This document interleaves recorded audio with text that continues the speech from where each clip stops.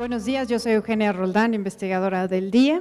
Em, es para mí un placer em, moderar esta mesa, este panel que se titula La educación en derechos humanos en México y América Latina. Y antes de introducir a los presentadores, em, les recuerdo que al entrar al auditorio a todos les dieron este folletito que anuncia el coloquio Estado y estudiantes, negociación y violencia en México ayer y hoy que tendrá lugar el 19 y 20 de octubre próximos. Eh, es un panel eh, realmente interesante con una perspectiva histórica, pero no únicamente, y eh, están todos muy cordialmente invitados. Bueno, en la sesión de hoy tendremos en primer lugar al doctor Sebastián Pla, que es investigador del Instituto de estudio, ¿cómo se llama? bueno, del ISUE. nombre largo. Instituto de Investigaciones sobre la Universidad y la Educación, se llama así, de la UNAM. Es un especialista en enseñanza de la historia y en formación ciudadana. Ha publicado recientemente el libro Ciudadanía y Competitividad en la enseñanza de la historia. Está en prensa, va a ser publicado por la Universidad Iberoamericana. ya está. ¿Ya salió? Ya salió. Perfecto. Eh, y en segundo lugar vamos a tener a Sandra Rayo, de la, Universidad Nacional de La Plata, quien es además directora general de la Comisión Provincial de la Memoria, eh, supongo de la provincia de Buenos Aires, Argentina, y es eh, eh, compiladora junto a Samantha Salvatori del libro La última dictadura militar en Argentina entre el pasado y el presente, publicado en el 2009. Y por último tendremos a Sandra Rodríguez, que es profesora de la Universidad Pedagógica Nacional en Colombia. Em, ¿qué, más? Eh, es subdirectora de gestión de proyectos, el SIUP, en el SIUP. Eh, luego le preguntan qué es. Y es coordinadora de un proyecto que se llama em, Formar Maestros para una escuela asediada por la guerra, posibilidades de la paz, no ese es el título de su presentación, ¿verdad? Posibilidades de la paz y los derechos humanos en el contexto colombiano. Ok, em, empezamos con Sebastián, el panel de las tres S, como les dije, Sebastián, Sandra y Sandra, eh, y cada quien tiene unos 30 minutos para, para hablar, las preguntas vienen todas al final. Eh, y bueno, bienvenidos otra vez. La presentación de Sebastián Pla se llama Justicia Social, Estudios Sociales y Educación Secundaria en México y América Latina. Bueno, gracias Eugenia. Este, buenos días. quiero iniciar este, agradeciendo la invitación de Inés Dussel a participar en este evento y a todos ustedes por darme la posibilidad de platicar con ustedes. Eh, en este seminario internacional de educación en contextos de violencia, ¿qué puede hacer la escuela por la paz y los derechos humanos? Pues ya se ha dicho eh, bastante, o lo dijeron ayer mucho, que bueno, que algo puede hacer, no puede hacer todo, ni mucho menos, pero creo que algo de lo que puede hacer y sobre lo que voy a platicar es este, modificar ciertas estructuras simbólicas en la sociedad que generan procesos de desigualdad que subyacen en mucho de, la violencia que vivimos cotidianamente en México y en buena parte de América Latina.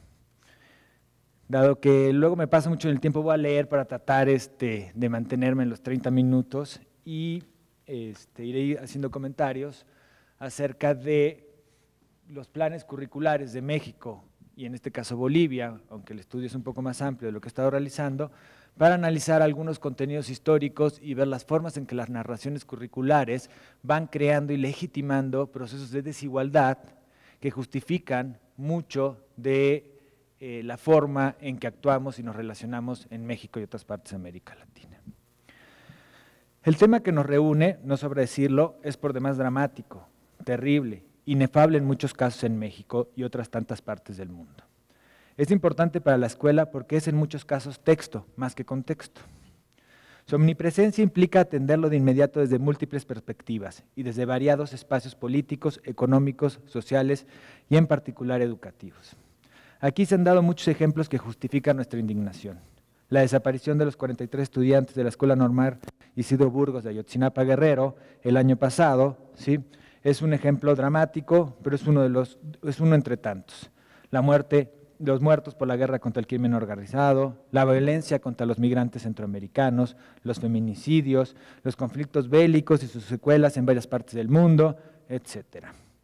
Pero también tenemos en México una violencia cotidiana de baja intensidad, se le acostumbra decir, pero que duele igual, que la vivimos en muchas de nuestras relaciones cotidianas, en el transporte público, en el tráfico, la casa, el trabajo, los medios de comunicación contra su propia audiencia o contra la libertad de expresión y por supuesto en la escuela. Pero también hay una violencia más profunda, desde mi perspectiva, de larga duración y que tiene que ver con la miseria, el hambre, la desigualdad, la falta de reconocimiento de la diversidad, la imposibilidad de acceder a la justicia en la vida cotidiana, la nula representación política en nuestras instituciones, eh, y la exclusión constante de saberes diversos que no son, eh, que no son legitimados en, instituciones como es la escuela y otros tantos espacios. Esta violencia, que insisto, es de larga duración y sobrevive gracias a renovadas formas eh, eh, de, perdón, y renovadas formas de ir legitimando las desigualdades que las producen. La educación, por ejemplo, es parte sustancial de esta violencia y las reformas educativas tienden a actualizarla, no a mitigarla. Estos elementos que subyacen en mucha de la furia que rige nuestras relaciones sociales tienen que ver, consciente o inconscientemente, con las concepciones de justicia social que se defienda o que se practique. La definición de justicia social es muy amplia y aunque volveré brevemente más adelante, solo quiero dejar claro mi punto de vista de que está estrechamente ligada con la violencia o los diferentes tipos de violencia y que en esa variedad hay una que me interesa platicar aquí, la producción de un sentido común ya muy sedimentado en México que naturaliza un orden social que es, por su propia organización, rapaz, saqueador, violento. Tanto en las instancias legales como en las ilegales, la, funciona de la misma manera. Pero también me interesa ver, con sus múltiples críticas, otras posibilidades u otros intentos dentro de la escuela para modificar estas circunstancias. Tomando en cuenta que la violencia de la que voy a hablar es en cierta, en cierta medida simbólica de larga duración, sedimentada, quiero mostrar cómo resuelven o reproducen dos sistemas educativos en América Latina en el ámbito específico de la enseñanza de la historia y las ciencias sociales en educación secundaria. Para eso, expondré brevemente algunas nociones sobre justicia social, que es un término que cada vez está teniendo mayor presencia y que de una u otra manera es importante plantearlo en el aspecto relacionado a la violencia. Posteriormente, pondré ejemplos concretos sobre la conquista de América en el siglo XVI, pregunta que por cierto hicieron ayer, y finalmente trataré de concluir. Una idea de justicia social. Por economía expositiva y con conocimiento de las implicaciones teóricas que inevitablemente acarrea, se puede decir que existen dos grandes corrientes de pensamiento. Una vinculada hacia los procesos de redistribución de los bienes, donde la educación sería uno, y otro donde la justicia social en educación tiene que ver con el reconocimiento de los diferentes saberes, de las diferentes, este, eh, de las diferentes identidades, de las, de las, variedades regionales, de las características que este, predominan en la pluralidad en México y en otras partes del mundo. La parte de este, redistributiva es la que predomina en los, discursos, en los discursos de los grandes organismos internacionales y de los nacionales y tiene que ver con el binomio de libertad y equidad. Parte importante de esta propuesta se basa en la idea de eh, igualdad de oportunidades y tiene que ver con los principios de libertad y equidad. Parte importante está en sustituir la igualdad por el de equidad. Esto aquí lo voy a nombrar de manera pasajera liberalismo social, aunque algunos le van a llamar también neoliberalismo. Del otro lado, podemos ubicar las teorías de justicia social que consideran el reconocimiento de las diversas identidades como parte central de su propuesta. Esta, perspectiva se aproxima a, lo que los diversos autores, por ejemplo, Connell o Torres, han denominado como justicia curricular, ¿sí? que es que este, una mirada hegemónica del currículum que margina otras formas de organización del, del conocimiento, estoy citando, está integrado en la estructura de poder de las instituciones educativas y ocupa todo el espacio cultural al definir las ideas sobre lo que debe ser el aprendizaje que el sentido común dicta a la mayoría de las personas. Por eso, el currículum, si parte del reconocimiento como principio moral fundamental, debe estar diseñado para materializar los intereses y las perspectivas de los menos favorecidos. También hay otra propuesta que se puede vincular, aunque no está lo suficientemente trabajado en los diseños curriculares, que tiene que ver con lo que Buenaventura Sousa de Santos ha llamado como justicia curricular, que es el reconocimiento de las diversas epistemologías que hay en el mundo y que normalmente son excluidas del ámbito escolar. Eh, siguiendo la propuesta de Fraser, de Nancy Fraser específicamente, ¿sí? Eh, para Nancy Fraser, digamos que no hay justicia social en, un este, país, en una sociedad, si no hay redistribución, que son los aspectos económicos. O sea, no podemos hablar de cambiar las condiciones de justicia social desde la escuela si sigue habiendo una miseria lacerante en gran parte de la población. ¿sí? Tiene que haber una redistribución de los bienes. Pero también tiene que haber un reconocimiento ¿sí? de la diversidad cultural y también una representación política de esta diversidad. Esto es importante porque la escuela normalmente se le otorga en una posición la función de la redistribución, por ejemplo, en la formación de capital humano, cuando desde mi perspectiva su potencial está justamente en el reconocimiento de la diversidad, de las diferentes epistemologías, de, los, eh, de la inclusión de otras formas de vida y de ahí en la formación política y en la representación. Entonces, eh, estos tres elementos yo los conjugo, veo ahí, pero además retomo de Fraser cuando menciona que el liberalismo social ¿sí? y ahora lo que llamaré lo descolonial por las características de los, de los países que voy a estar hablando, van a establecer una serie de estrategias básicamente este, afirmativas o transformativas.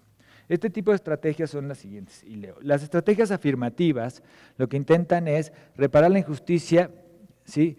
Eh, a partir de los resultados desiguales de los acuerdos sociales sin tocar las estructuras sociales subyacentes que los generan. Por ejemplo, todas las propuestas políticas de equidad, de centrarse en grupos focalizados, ¿sí? Tratan de igualar estas condiciones, lo cual genera luego también el abandono de ciertas políticas universales. Pero bueno, el objetivo es dar a este las condiciones para esto. En cambio, las, las, estrategias transformadoras aspiran a corregir los resultados injustos reestructurando precisamente el marco generador subyacente. Es decir, mientras las primeras se centran en los resultados, las segundas buscan la transformación de las causas últimas. El problema entonces es cuando un contenido curricular es potencialmente afirmativo o transformativo para fomentar eh, una sociedad más justa o combatir la injusticia social. Y de ahí su relación con la violencia que he mencionado. Bueno, si tomamos a Fraser, podemos pensar que la, a, larga, eh, digamos, a largo plazo es aquella estrategia que logra reparar la subordinación de estatus mediante la deconstrucción de posiciones binarias simbólicas que subyacen a los patrones de valor institucionalizados en la actualidad. Es decir, las concepciones sociales sobre lo blanco y lo indio, del hombre y mujer, ¿sí? de lo escolarizado con lo no escolarizado, de lo científico frente a otros saberes. ¿sí? Todas estas relaciones de poder van generando estatus sociales ¿sí? que van de entrada produciendo una desigualdad simbólica que es parte de, desde mi perspectiva, fundamental de la violencia que vivimos en día, desde esta visión de larga duración de la violencia. Bueno, eh, tomando en cuenta esto, lo que voy a hacer es mirar dos planes curriculares a partir de las estrategias afirmativas y las estrategias este, transformativas y ver cuáles, desde mi perspectiva, tienen mayor potencialidad de transformación. Potencialidad, insisto, porque el currículum en sí mismo no garantiza ningún tipo de cambio sin las prácticas escolares en el aula, ¿no? Y sin las condiciones sociales, políticas más amplias. Lo que voy a presentarles brevemente es una parte de un estudio que estoy realizando sobre los programas de ciencias sociales y humanidades de educación básica y obligatoria en, América Latina para analizar la relación entre diferentes nociones de justicia social y la educación, específicamente si legitiman o no las desigualdades sociales. Aquí presento, y originalmente iba a presentar, había quedado con Inés, presentar más países, pero sería demasiada información, entonces solo me voy a reducir al caso de México y Bolivia, aunque hay casos más radicales. Por ejemplo, si uno compara Chile con Bolivia, todavía la diferencia es más notable.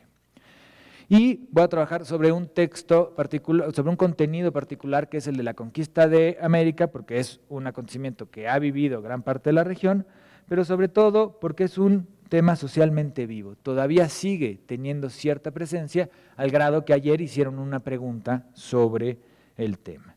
Y ahí he ido trabajando aspectos sobre el papel de subalteridad que se da a las voces de los pueblos indios, la relación de la conquista en la historia universal y cómo se construyen las narraciones curriculares y el asunto del binomio de la identidad y la diversidad, siempre tomando en cuenta los aspectos cognitivos. Cuando uno ve la enseñanza de la historia no podemos quedarnos solamente en el contenido. Se prescribe ver o no ver la, este, la conquista de México o en geografía. Se prescribe ver o no ver la desigualdad, sino cómo se narra y cómo se piensa ese tipo de cosas, desde dónde y para qué. Solamente de manera genérica para ver, o de manera muy rápida, para ver cómo está la, discusión entre estos para qué y qué de la enseñanza de la historia y su relación con la justicia social.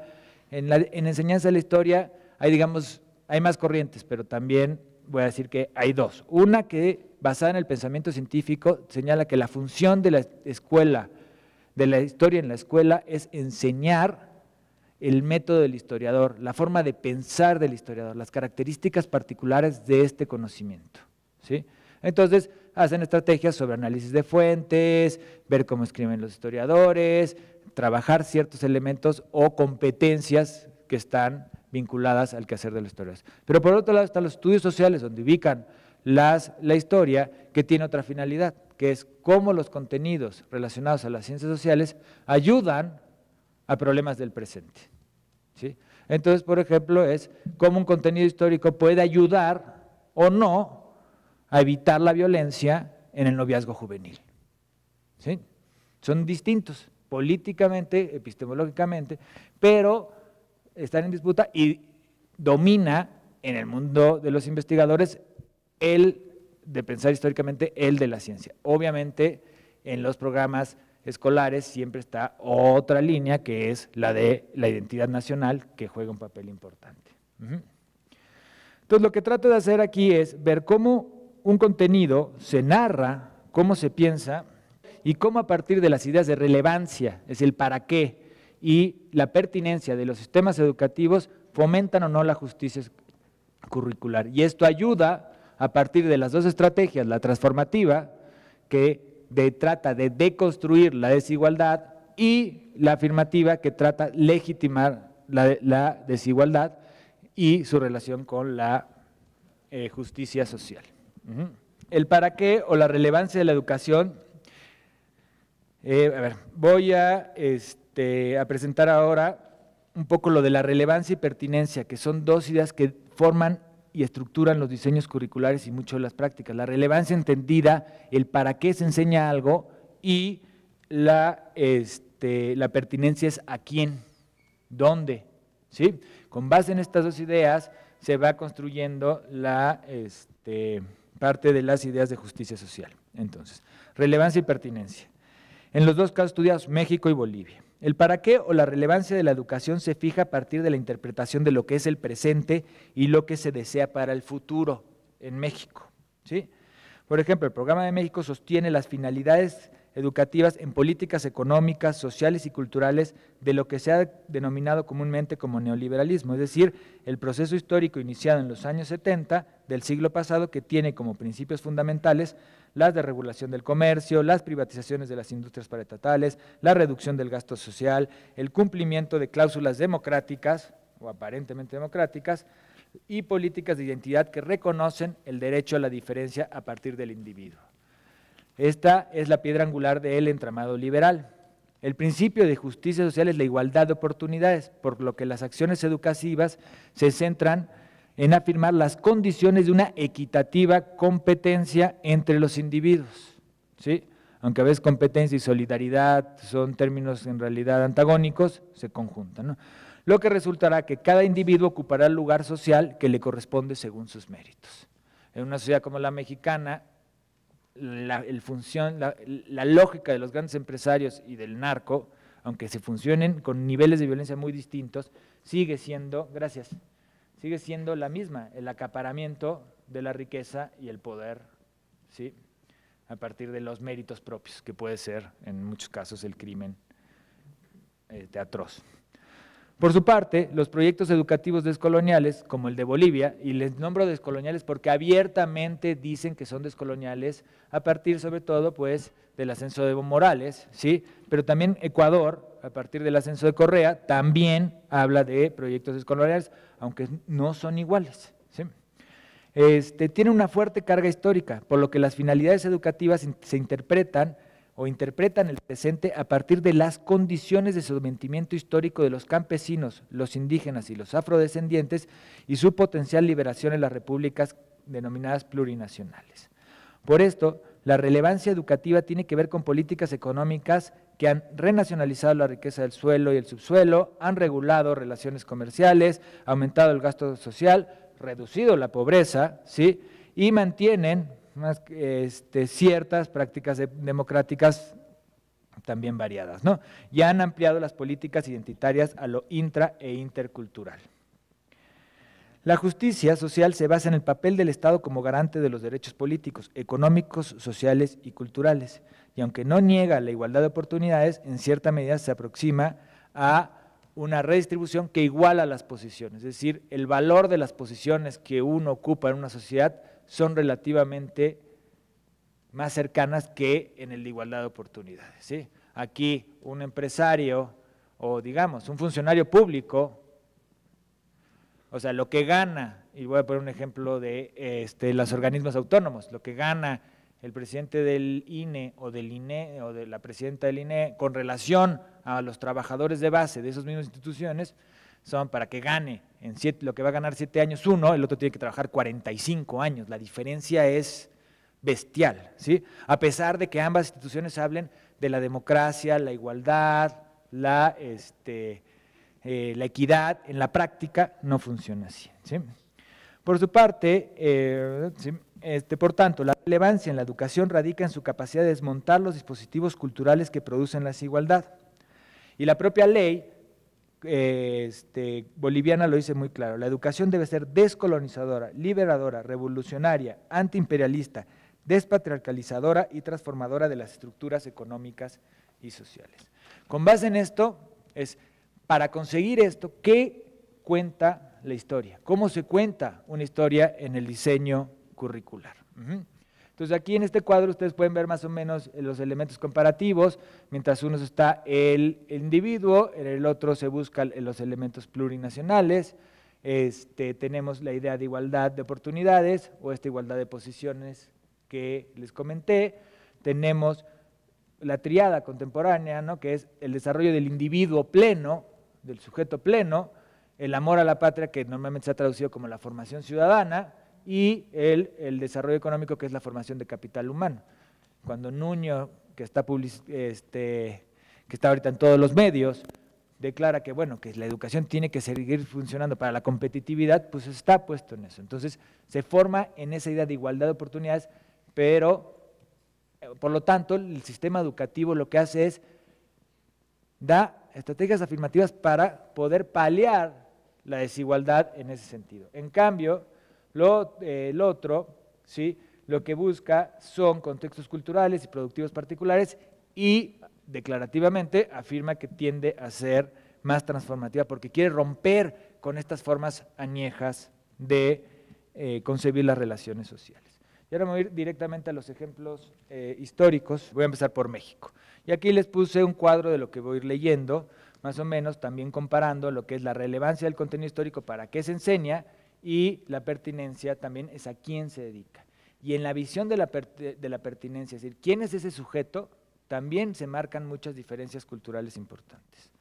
Los programas de estudio en México para la educación básica y obligatoria llevan 25 años en reformas y ya se venía otra, pero dicen que ya se detuvo porque este, pues, la popularidad del presidente ha caído notablemente y no quiere meterse en ese asunto. A lo largo de los 25 años, los pueblos indígenas han ido ganando peso en los programas de estudio. ¿sí? y este, tiene que ver en parte con el movimiento zapatista de los años 90, en parte con políticas internacionales de reconocimiento a las identidades indígenas, pero también en parte de una lógica que se está modificando desde mi perspectiva, que se basa en una identidad homogénea y centralizada a imagen del sistema francés, hacia una idea cada vez más descentralizada y con base en las políticas de identidad de corte anglosajón. El resultado es que seguimos teniendo mucha nación, pero con elementos eh, de transversales de multiculturalidad. y este proceso es importante. Eh, ayer más o menos comentaban algo similar. O sea, se construye una idea por arriba que es inamovible y lo que se hace es permitir cierta pluralidad sin cuestionar la parte superior. Por ejemplo, yo te formo para que puedas competir y ser exitoso en cierta lógica o estructura, pero no cuestiono la, propia injusticia de la estructura en general. Lo mismo pasa con eh, las propuestas pluriculturales o interculturales. Se permite el ingreso de la diversidad cultural mientras ese espacio no cuestione la organización general, que muchas veces viene a ser la del capital. También hay otro tipo de exclusiones. La exclusión cognitiva se puede observar, por ejemplo, en el enfoque de la enseñanza de la historia, la geografía y las ciencias sociales, tanto en educación básica como en educación media superior. Las competencias son parte de un proceso educativo que tiende a simplificar el conocimiento en una sola forma de pensamiento genérico, como dijo Bernstein, ¿sí? y que está directamente vinculada a lo que se denomina sociedad del conocimiento. Esto produce creaciones didácticas o curriculares como las competencias disciplinares y educación media superior es el exceso de eso. ¿no? Y cito, que son los conocimientos, habilidades y actitudes asociados con las disciplinas en lo que tradicionalmente se ha organizado el saber. Cito a México.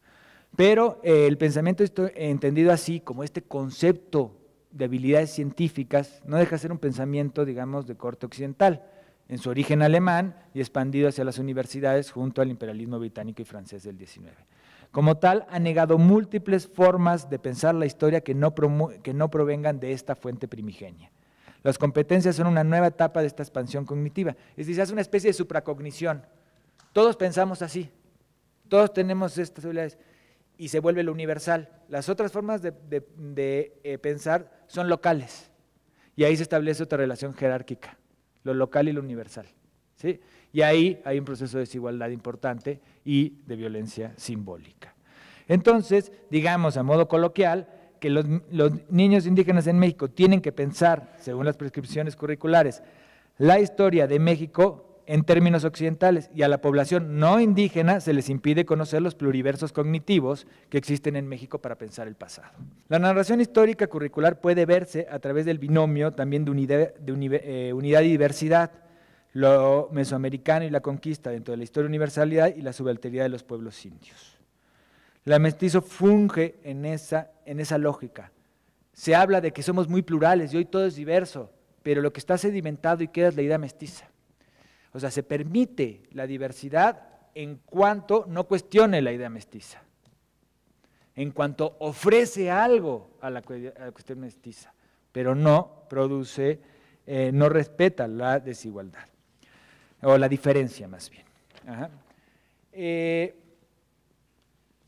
también cuando uno observa las narraciones curriculares en México, ve y sigue a largo plazo los, programas de estudio, ve que cuentan la conquista como parte de un proceso de integración económica en la globalización. Y se expresa de una manera endulcorada, de manera impresionante. ¿no? Esto eh, es importante. Por ejemplo, el siglo XVI se entiende como el proceso de integración económica. El primero, el segundo será el XIX y el tercero el siglo XX. Donde el, y el proceso del siglo XVI ¿sí? se dio de una manera cuasi consensada. Es como si hubiera habido una expansión económica y los diferentes pueblos lo hubieran aceptado. Lo mismo sucede cuando se trabaja la llegada de Cristóbal Colón y la idea del encuentro de los dos mundos. Y no se mencionan ni las consecuencias de la conquista, ni mucho menos lo que implica éticamente la dominación de un pueblo sobre otro. Eh, incluso a los negros llegados bajo el yugo del esclavismo en la época colonial se les llama inmigrantes y el tema es inmigrantes, asiáticos, españoles, y negros, como si la condición con la que hubieran llegado hubiera sido lo mismo. El resultado es una conquista y una integración mundial sin violencia. Bueno, hay muchos estudios que siguen mostrando cómo en los libros de texto reproduciendo estos aspectos. Bueno, la subalteridad, ¿sí? no aparece en las voces indígenas, la historia endulcorada promueve una historia de integración económica y eso va generando una naturalidad de cómo ha funcionado históricamente la sociedad en esta idea de igualdad de oportunidades, porque naturalmente este sistema se ha desarrollado. Me voy a ir al caso boliviano, ¿sí? y ahí tienen los tres los elementos que les estoy mencionando. La exclusión cognitiva es una exclusión importante y va a tratar de ser combatida en Bolivia. Rápidamente. Utilizan, los bolivianos utilizan poco los conceptos de competencias, aunque sí lo hacen. También, aunque en un inicio rechazaron el concepto de calidad educativa, también ya tienen su Instituto de Calidad Educativa y de Evaluación, como toda América Latina. Bueno, muy bien, termino. Este, eh, ahí lo que se trata es eh, de justificar cómo el Estado plurinacional contemporáneo eh, se fundamenta en la deconstrucción de todos los aspectos simbólicos que han puesto a las poblaciones indígenas por abajo de las eh, poblaciones blancas bolivianas. La dimensión histórica es muy clara, ¿sí? Eh, y, este, por ejemplo, ¿qué cuentan? No le llaman América, le llaman Yala, ¿sí? Hablan expresamente de la invasión europea como implementación violenta de la religión, de la imposición cultural, la resistencia de los pueblos originarios, se trabaja, las consecuencias que traen las desigualdades económicas, políticas y educativas que produjo.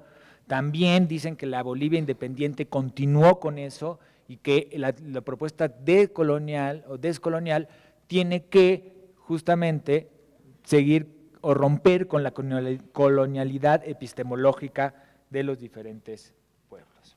Es decir, es una historia mucho más bélica en el sentido de una intención clara de romper con estructuras simbólicas que han producido una profunda desigualdad en la sociedad boliviana.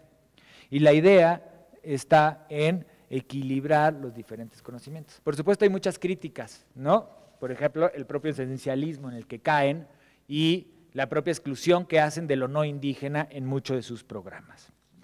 También ciertas estructuras didácticas, hay cuestionamientos al nuevo sistema educativo. Entonces tenemos ahí una posición ¿sí? que podríamos considerarla transformativa. Mientras uno afirma las condiciones de desigualdad de, de un sistema en general y educa para triunfar en esa desigualdad, triunfar entre comillas, el otro trata de conjuntar las posiciones y cambiar la estructura simbólica de, largo, de larga duración.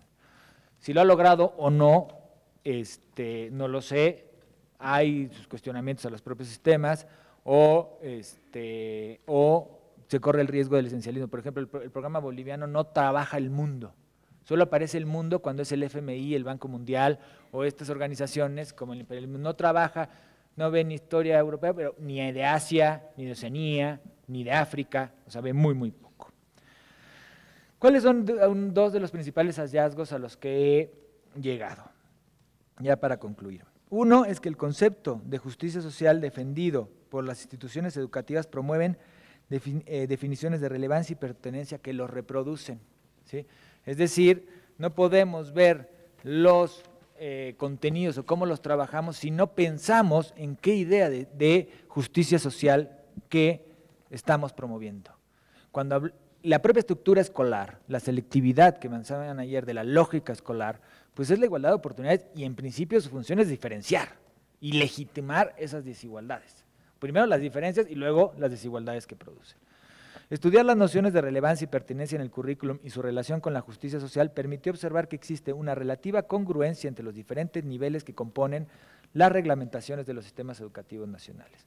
En el caso del liberalismo social mexicano, que es un término que además usaba mucho eh, Salinas, la justicia social defendida bajo el principio de igualdad de oportunidades defiende la relevancia con base en cierta lógica del sistema productivo preestablecido e inamovible y la pertinencia en la idea cognitiva del individuo mediatizado por su contexto. en el proyecto descolonizador boliviano, la relevancia radica en la modificación a través de la educación de las condiciones de desigualdad dentro del sistema capitalista dominante. Y la pertinencia se fundamenta en el grupo y el individuo que se definen mutuamente. Y por último, la interpretación escolar de la conquista y la colonización como uso político de la historia responde a las condiciones impuestas por los modelos de justicia social y no a la ciencia histórica.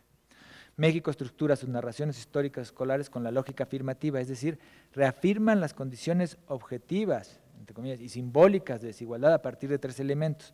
Niegan el derecho de los pueblos indios a hablar dentro de las interpretaciones históricas, no rompen completamente con el eurocentrismo narrativo y por tanto continúan legitimando esa perspectiva como forma de pensamiento histórico. Y por último, dan continuidad a la idea de identidad nacional de raza, basada en la raza. En cambio, Bolivia voltea la perspectiva de los acontecimientos para mirarlos desde los grupos tradicionales marginados, reconocen las identidades plurales y de ahí su carácter plurinacional, y trata de ver a los grupos indígenas históricamente marginados. Como base, este, con base en esto se puede suponer que Bolivia ha diseñado en el ámbito educativo estrategias transformativas que terminarán a largo plazo por deconstruir las relaciones simbólicas de poder que impiden un reconocimiento y una representación adecuada de una sociedad que busca la paridad participativa como elemento central de la justicia social. Esto no implica que no habrá riesgos, ¿sí? como por ejemplo como la institucionalización de nuevas relaciones binarias de poder simbólico, pero con los mismos, con los mismos actores en diferente lugar jerárquico. ¿sí? O sea, suben unos, se bajan otros, pero la estructura puede no variar. Pero es un riesgo que a mi parecer vale la pena tomar porque no, lo otro claramente no ha funcionado pues las condiciones de injusticia educativa que azotan a la región requieren soluciones urgentes y porque no debe de verse como una fatalidad, sino como algo posible de evitar si se consolidan estructuras democráticas justas. Gracias.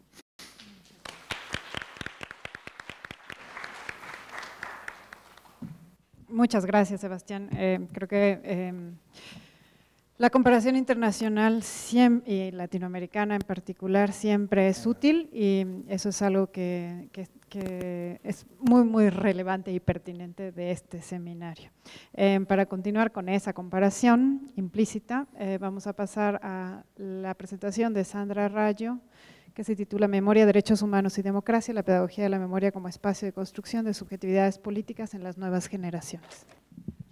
Em, bueno, a diferencia de casi todos los que estuvieron aquí, bueno, en principio le agradezco muchísimo a Inés en particular por la invitación, además por, eh, reencontrarla, hacía mucho que no la veía Inés y, bueno, hemos aprendido mucho de Inés y todas sus investigaciones allí en Argentina, así que la verdad que los, los envidiamos porque Inés esté aquí ahora en México. Eh, la verdad que ella ha hecho muchos aportes a la reflexión de educación de la memoria en, Argentina. Así que bueno, muchas gracias por la invitación y a todos eh, ustedes por estar acá. Eh, bueno, como decía, a diferencia de todos los que hablaron, a todos los colegas y compañeros que hablaron antes, yo no voy a hablar de una investigación, investigo en otras cosas. Voy a hablar de una práctica, de, voy a reflexionar en torno a una práctica y a una propuesta pedagógica en relación con la transmisión del pasado reciente en Argentina eh, que de alguna manera recoge, intenta recoger un poco todas las reflexiones que estuvieron haciéndose acá, digamos, a partir de, pensar determinadas cosas, nosotros eh, diseñamos un programa educativo en Argentina, particularmente en la provincia de Buenos Aires, aunque se desarrolla en diferentes provincias de nuestro país, que se llama Jóvenes y Memoria, Recordamos para el Futuro. Y voy a contar un poquitito la historia del programa y los supuestos del programa.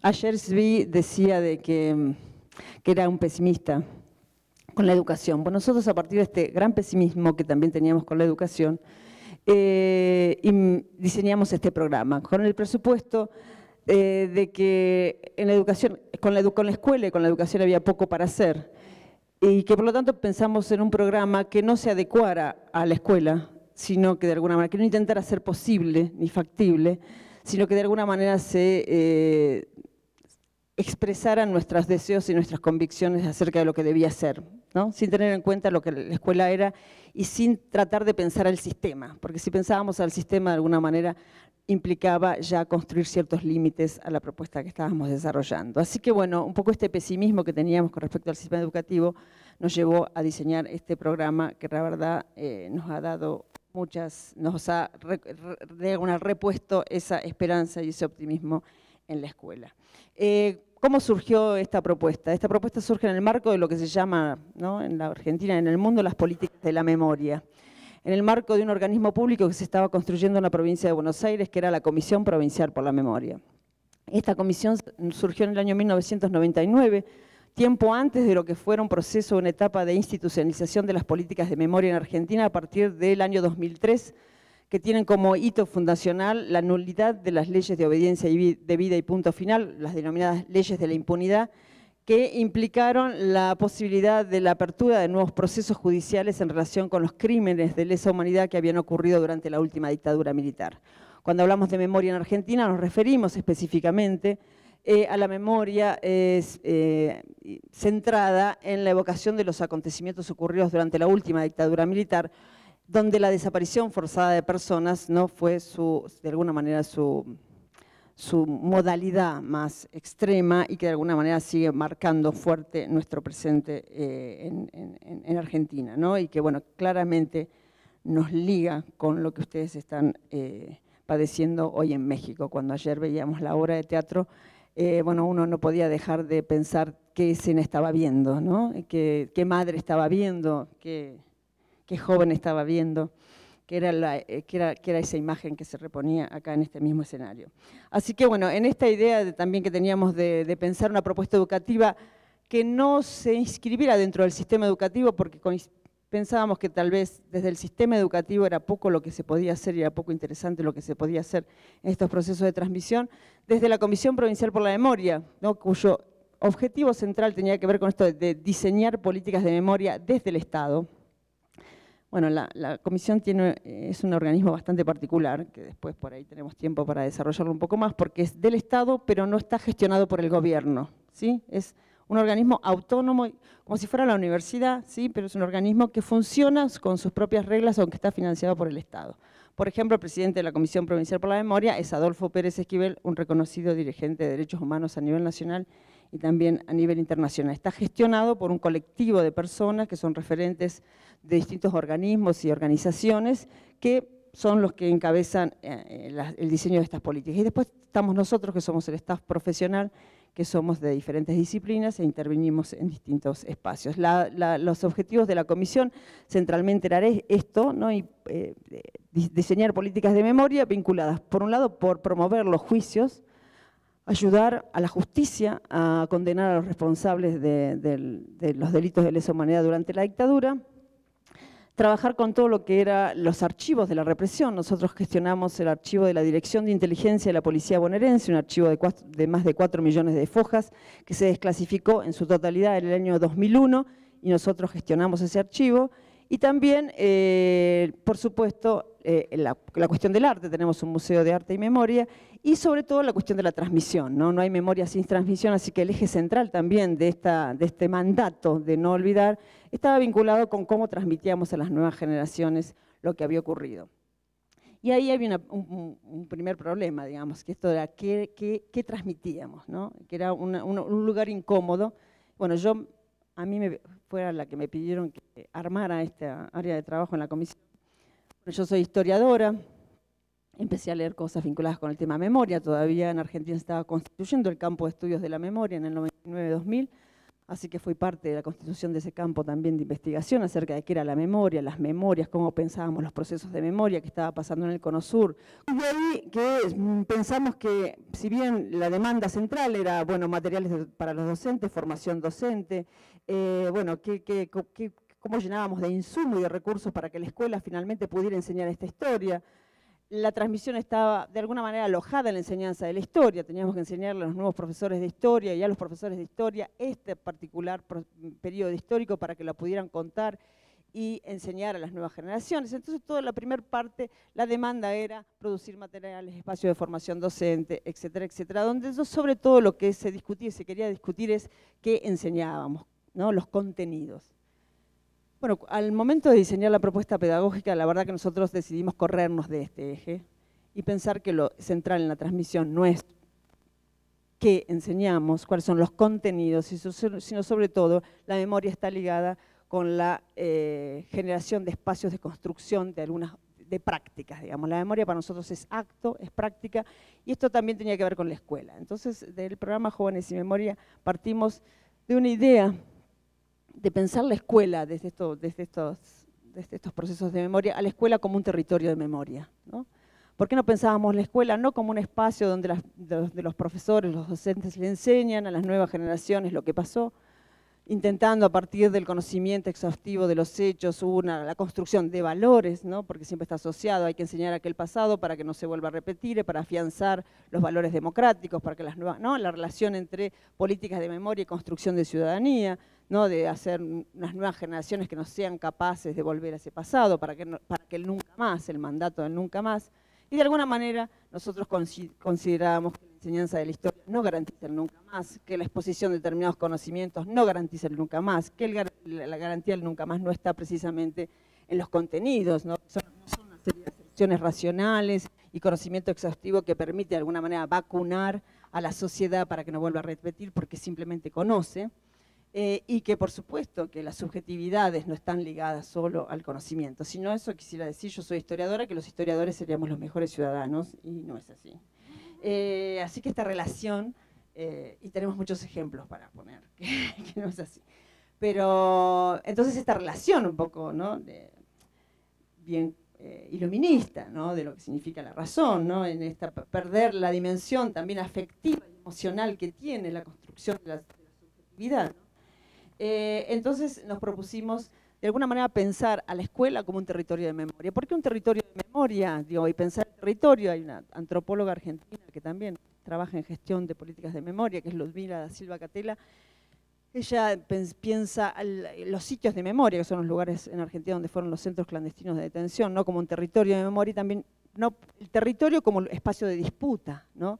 El territorio como un lugar que se conquista, que se transforma, no, no, no, no como una institución que donde, donde se transmiten cosas, donde están las nuevas generaciones que van a de alguna manera recibir de las otras, donde alguien recibe y alguien da, más allá de todos los cuestionamientos que la pedagogía crítica ha hecho este modelo, de alguna manera es el modelo que pervive, digamos. Lo que se le demanda a la escuela es que enseñe cosas, que dé cosas, que de alguna manera produzca, genera eh, y resuelva un montón de cuestiones que están vinculadas con las demandas sociales, políticas, culturales, etc. Entonces, eh, esto de pensar el territorio de memoria también nos, nos hizo pensar la cuestión del conflicto, ¿no? porque básicamente la, escuela es un territorio en disputa y en conflicto. ¿no?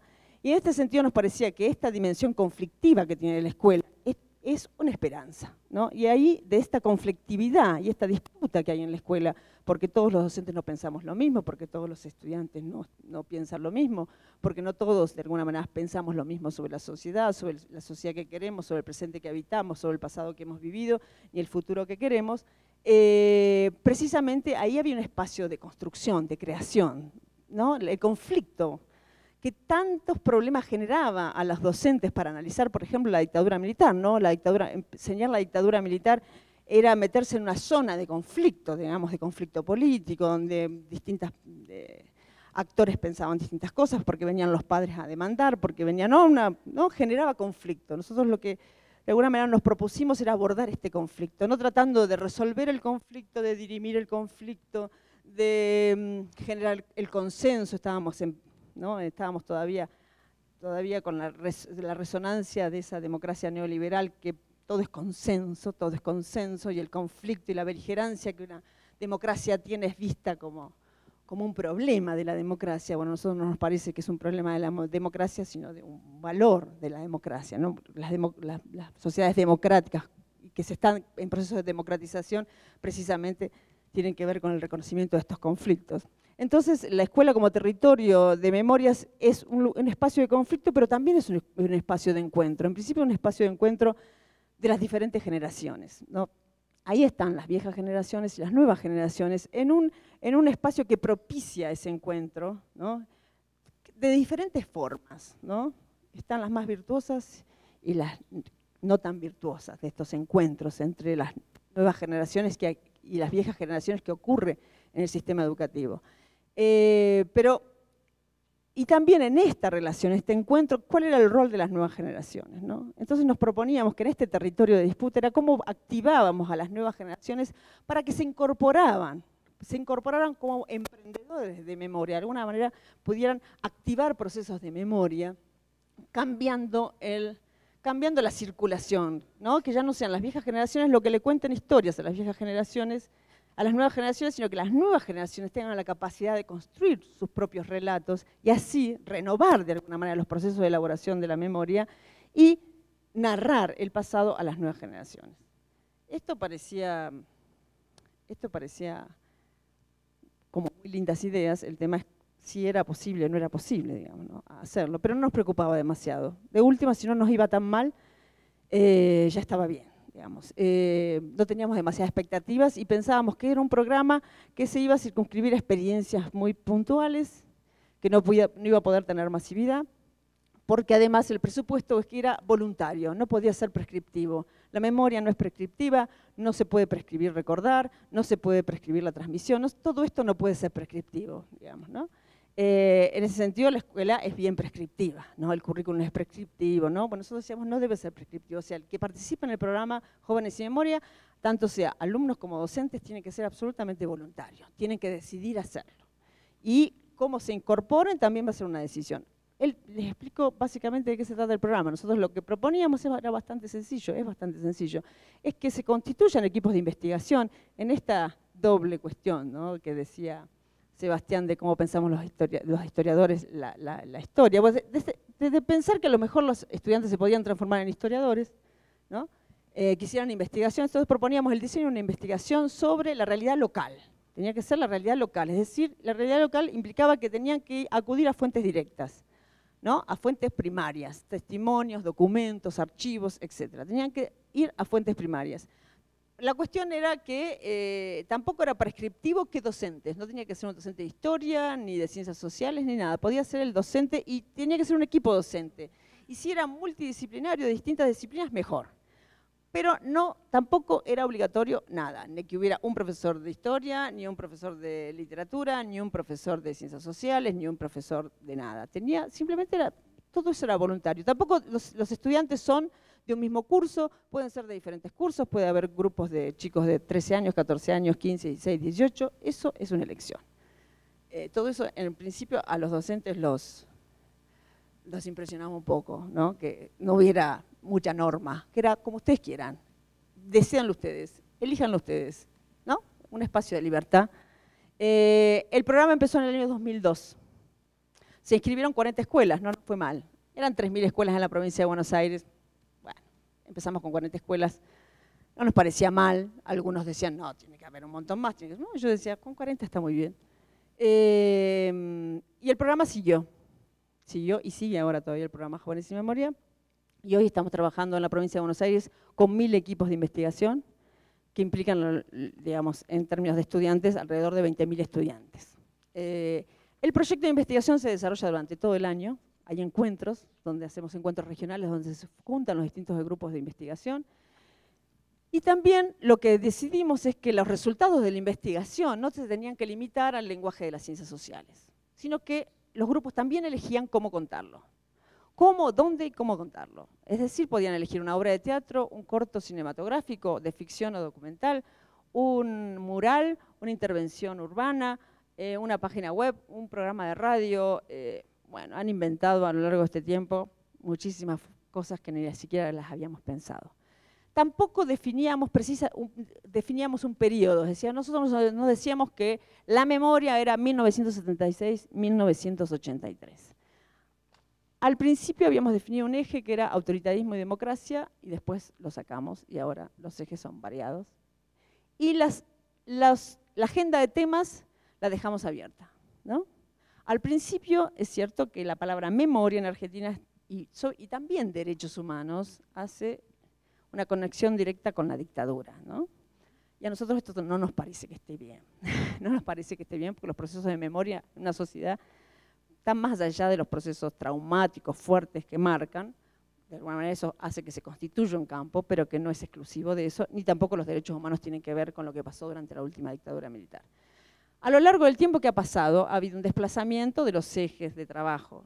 Al principio eran, la mayoría eran sobre la dictadura militar y ahora ha, ha habido un desplazamiento. También con los temas hemos dejado un universo bastante abierto que discutimos mucho con los docentes, cómo lo circunscribimos. Tenemos espacio de discusión con los docentes acerca de cómo va el programa.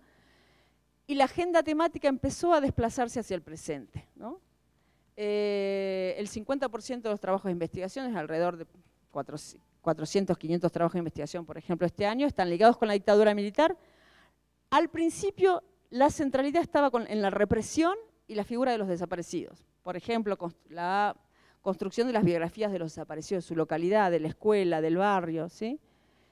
Y la cuestión represiva era central. Después se fue desplazando y la dictadura comenzó a ser una trama más compleja de cosas que pasaban. La dictadura no solo son desaparecidos, no solo es represión, sino es una trama compleja, digamos, que comienza a tomar otra definición y, otra, y otra, incluso otras formas de representación que la, que está tan consolidada en Argentina eh, vinculada con la represión y los desaparecidos, que después voy a desarrollar muy poquitito.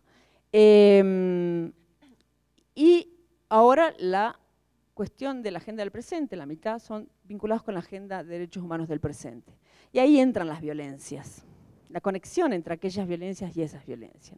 La violencia de género es una temática a la, que, eh, que tenemos muchísimos proyectos de investigación sobre violencia de género, la violencia institucional, es decir, la violencia policial y la violencia, penitenciaria. Y son todas problemáticas que impactan directamente en la vida de los jóvenes. ¿Quiénes son los jóvenes que participan del programa Jóvenes sin Memoria? Hoy, podríamos discutirlo con Inés, pero hoy la, mayoría son escuelas públicas y en las escuelas públicas en la Argentina hoy van los sectores populares. Hay una, ha habido un proceso de diferenciación fuerte del sistema educativo, ha crecido bastante la matrícula de la escuela privada y en la escuela secundaria, la escuela pública, es la matrícula de la escuela pública es centralmente los sectores populares. O sea que nosotros trabajamos básicamente con chicos de sectores muy vulnerables. La gran mayoría son de escuelas que tienen una alta vulnerabilidad social, su población tiene una alta vulnerabilidad, social, así que los chicos están hablando mucho de ellos, de los que les pasa tratando de pensar eso que les pasa con aquello que pasó. De alguna manera el pasado trabaja como una especie de enmarcamiento significativo de la experiencia que tienen los jóvenes hoy, digamos, trabajando sobre una, sobre una eh, percepción del tiempo histórico ¿sí? Eh, nueva. O sea, uno de los impactos en la subjetividad de los, de los adolescentes que participan es de alguna manera modificar, transforma la percepción del tiempo y de alguna manera reconfigura sus propias identidades en relación a eso, ¿no? Esa famosa cuestión de el de dónde venimos, ¿no? este presente de dónde viene. ¿no? Una idea también que hay de, esta concepción del tiempo del presentismo, eh, que de alguna manera se rompe. ¿no? Se rompe generando un proceso de acercamiento de las nuevas generaciones a la experiencia pasada que ya lleva 40 años, ¿no? pero de alguna manera hay una especie de trabajo se, genera una especie de condensación del tiempo, que para, nosotros está muy ligada también a la figura de los desaparecidos. Los desaparecidos son los eternamente jóvenes, ¿no? Y de alguna manera tiene una capacidad de interpelación subjetiva a las nuevas generaciones que es muy interesante de ver qué pasa, qué pasa ahí, ¿no? una capacidad de activación incluso, no sobre lo que pasó, sino sobre lo que pasa. Eh, pero una de las cuestiones centrales para nosotros que ha tenido el programa es precisamente la ruptura de los binarismos, que algo de eso se hablaba ayer, ¿no? de, pensar en términos de el bien el mal, dictadura, democracia, eh, em, estas relaciones, digamos, ¿no? pasado-presente, eh, es lo que empiezan a, moverse, digamos. ¿no? Eh, incluso la la relación también víctima-victimario, ¿no? estas, relaciones binarias ¿no? que, mm, han sido tan, útiles y eficaces de alguna manera para narrar ciertos acontecimientos. ¿no? ¿Qué ha implicado la, intervención de las nuevas generaciones en los procesos de memoria? Precisamente esto, ¿no? Cuando la experiencia de la dictadura se abre a múltiples experiencias, más, mucho más complejas. En los 80 se construyó en la Argentina una idea bastante fuerte, que eran los victimarios y toda la sociedad víctima, ¿no?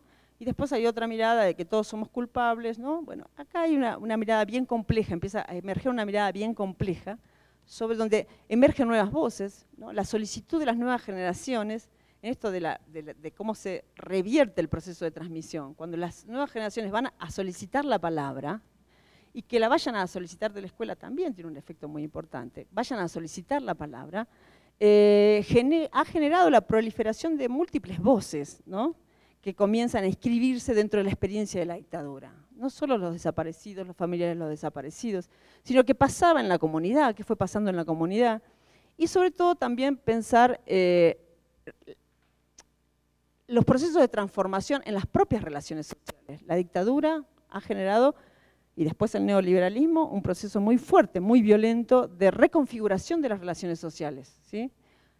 de destrucción de unas y reconfiguración de otras, digamos. La estructura social, pero no solo la estructura en cuanto a la configuración de las clases, sino las formas de vincularnos unos con otros, de afiliación social, se modificaron, digamos, Y eso tiene un impacto muy fuerte en la sociabilidad de los jóvenes hoy, de alguna manera, eh, Y, esto es algo que, que va emergiendo. Es posible ver cómo era antes, incluso antes de la dictadura, y cómo es ahora. Y sobre todo también pensar el posicionamiento de los sujetos en los procesos históricos, ¿no?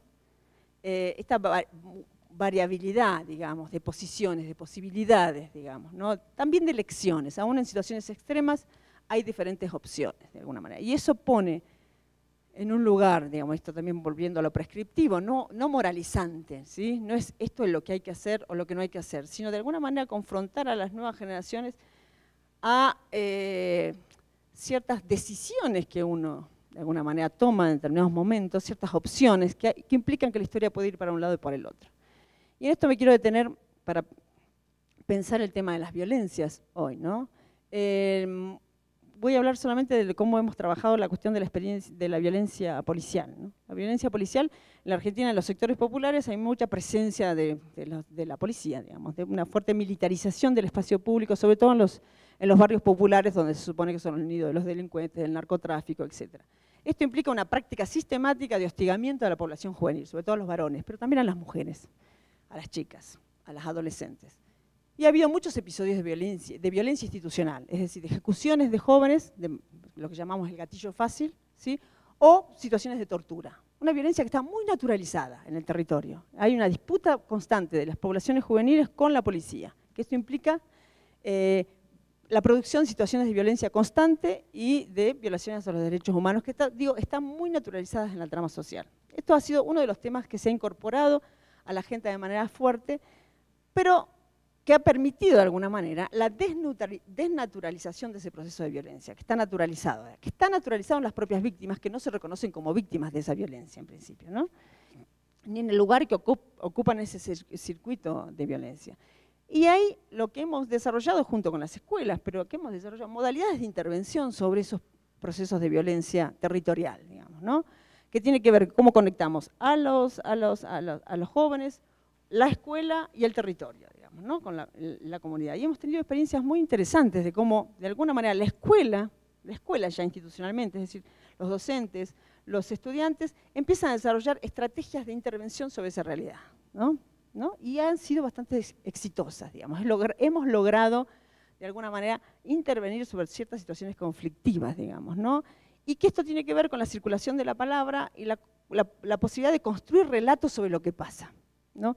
Y eso tiene que ver con la construcción de la experiencia. Para nosotros, básicamente, una propuesta pedagógica, en el cripto también la pedagogía crítica, o no, porque la escuela produce experiencia, capaz que no es la que nosotros pensamos, pero de alguna manera experiencias emancipatorias, experiencias de emancipación de los sujetos, tiene que ver con, por eso, no los contenidos, sino qué capacidad tenemos de generar nuevas prácticas y qué capacidad también tienen esas nuevas prácticas de generar nuevas experiencias sociales. Y cuando me refiero a nuevas experiencias sociales, tiene que ver a formas del vivir juntos, digamos, ¿no? que tiene que ver con la idea de la comunidad. Los procesos de violencia tienen una capacidad muy fuerte de ruptura, de ruptura y de reconfiguración de las sociales, porque no es solo ruptura, porque no es solo, no es solo que una sociedad se rompe, sino que se reconfigura un poco lo que explicaba ayer Arteaga, de cómo de alguna manera la violencia de alguna manera es reconfiguración, es una forma de, relación social. Y eh, bueno, digo, en esto de, poder pensar eh, a la escuela, de alguna manera, como un espacio donde pueden reconfigurarse estas prácticas sociales. Nosotros, hacemos, nosotros insistimos mucho en esto.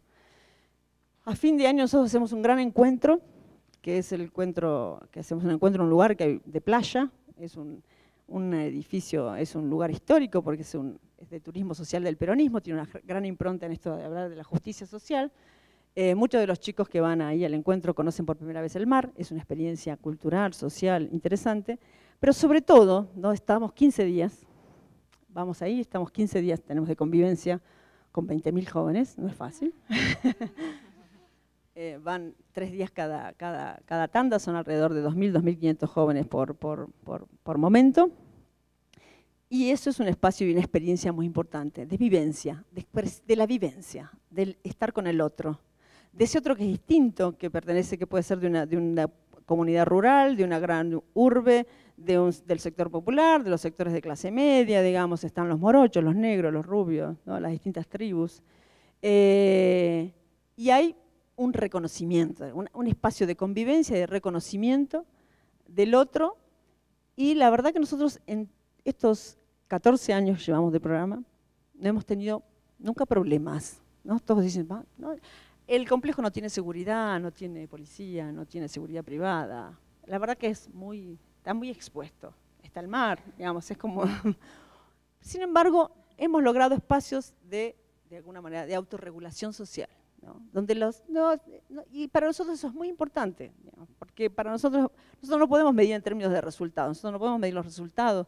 Saben más historia, capaz que sí, saben de la dictadura, sí, seguramente más, saben de la realidad, pueden pensar, pueden leer mejor el diario, pero sobre todo lo que vemos que hay en su forma de ser, de ser con el otro, una transformación, no en el plano discursivo, no en el plano de lo políticamente correcto, porque los, como decías, los chicos son muy inteligentes y saben lo que nos tienen que decir, y nosotros no nos queremos que nos digan lo que nosotros queremos escuchar, sino precisamente que puedan de alguna manera eh, tener una experiencia social de vivir con el otro que sea mucho más satisfactoria que la que propone para ponerle un nombre, el sistema, donde básicamente el otro es una competencia, el otro es alguien peligroso que me puede dañar, del que me tengo que cuidar, sino que el otro es alguien que me cuida y al que tengo que cuidar. Eso eh, es de alguna manera lo que nosotros vemos que ha pasado en esta experiencia, que se nutre de la escuela, que está en la escuela, pero que también ha ha tenido, tenido un impacto fuerte en la transformación de las relaciones escolares. El programa ha traído muchos problemas en la escuela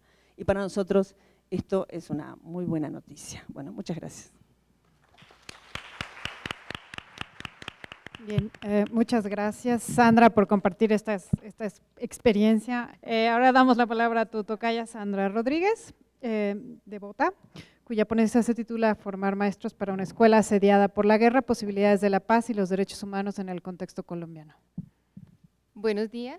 Eh, inicialmente eh, quiero agradecer a, Inés Dussel por la invitación.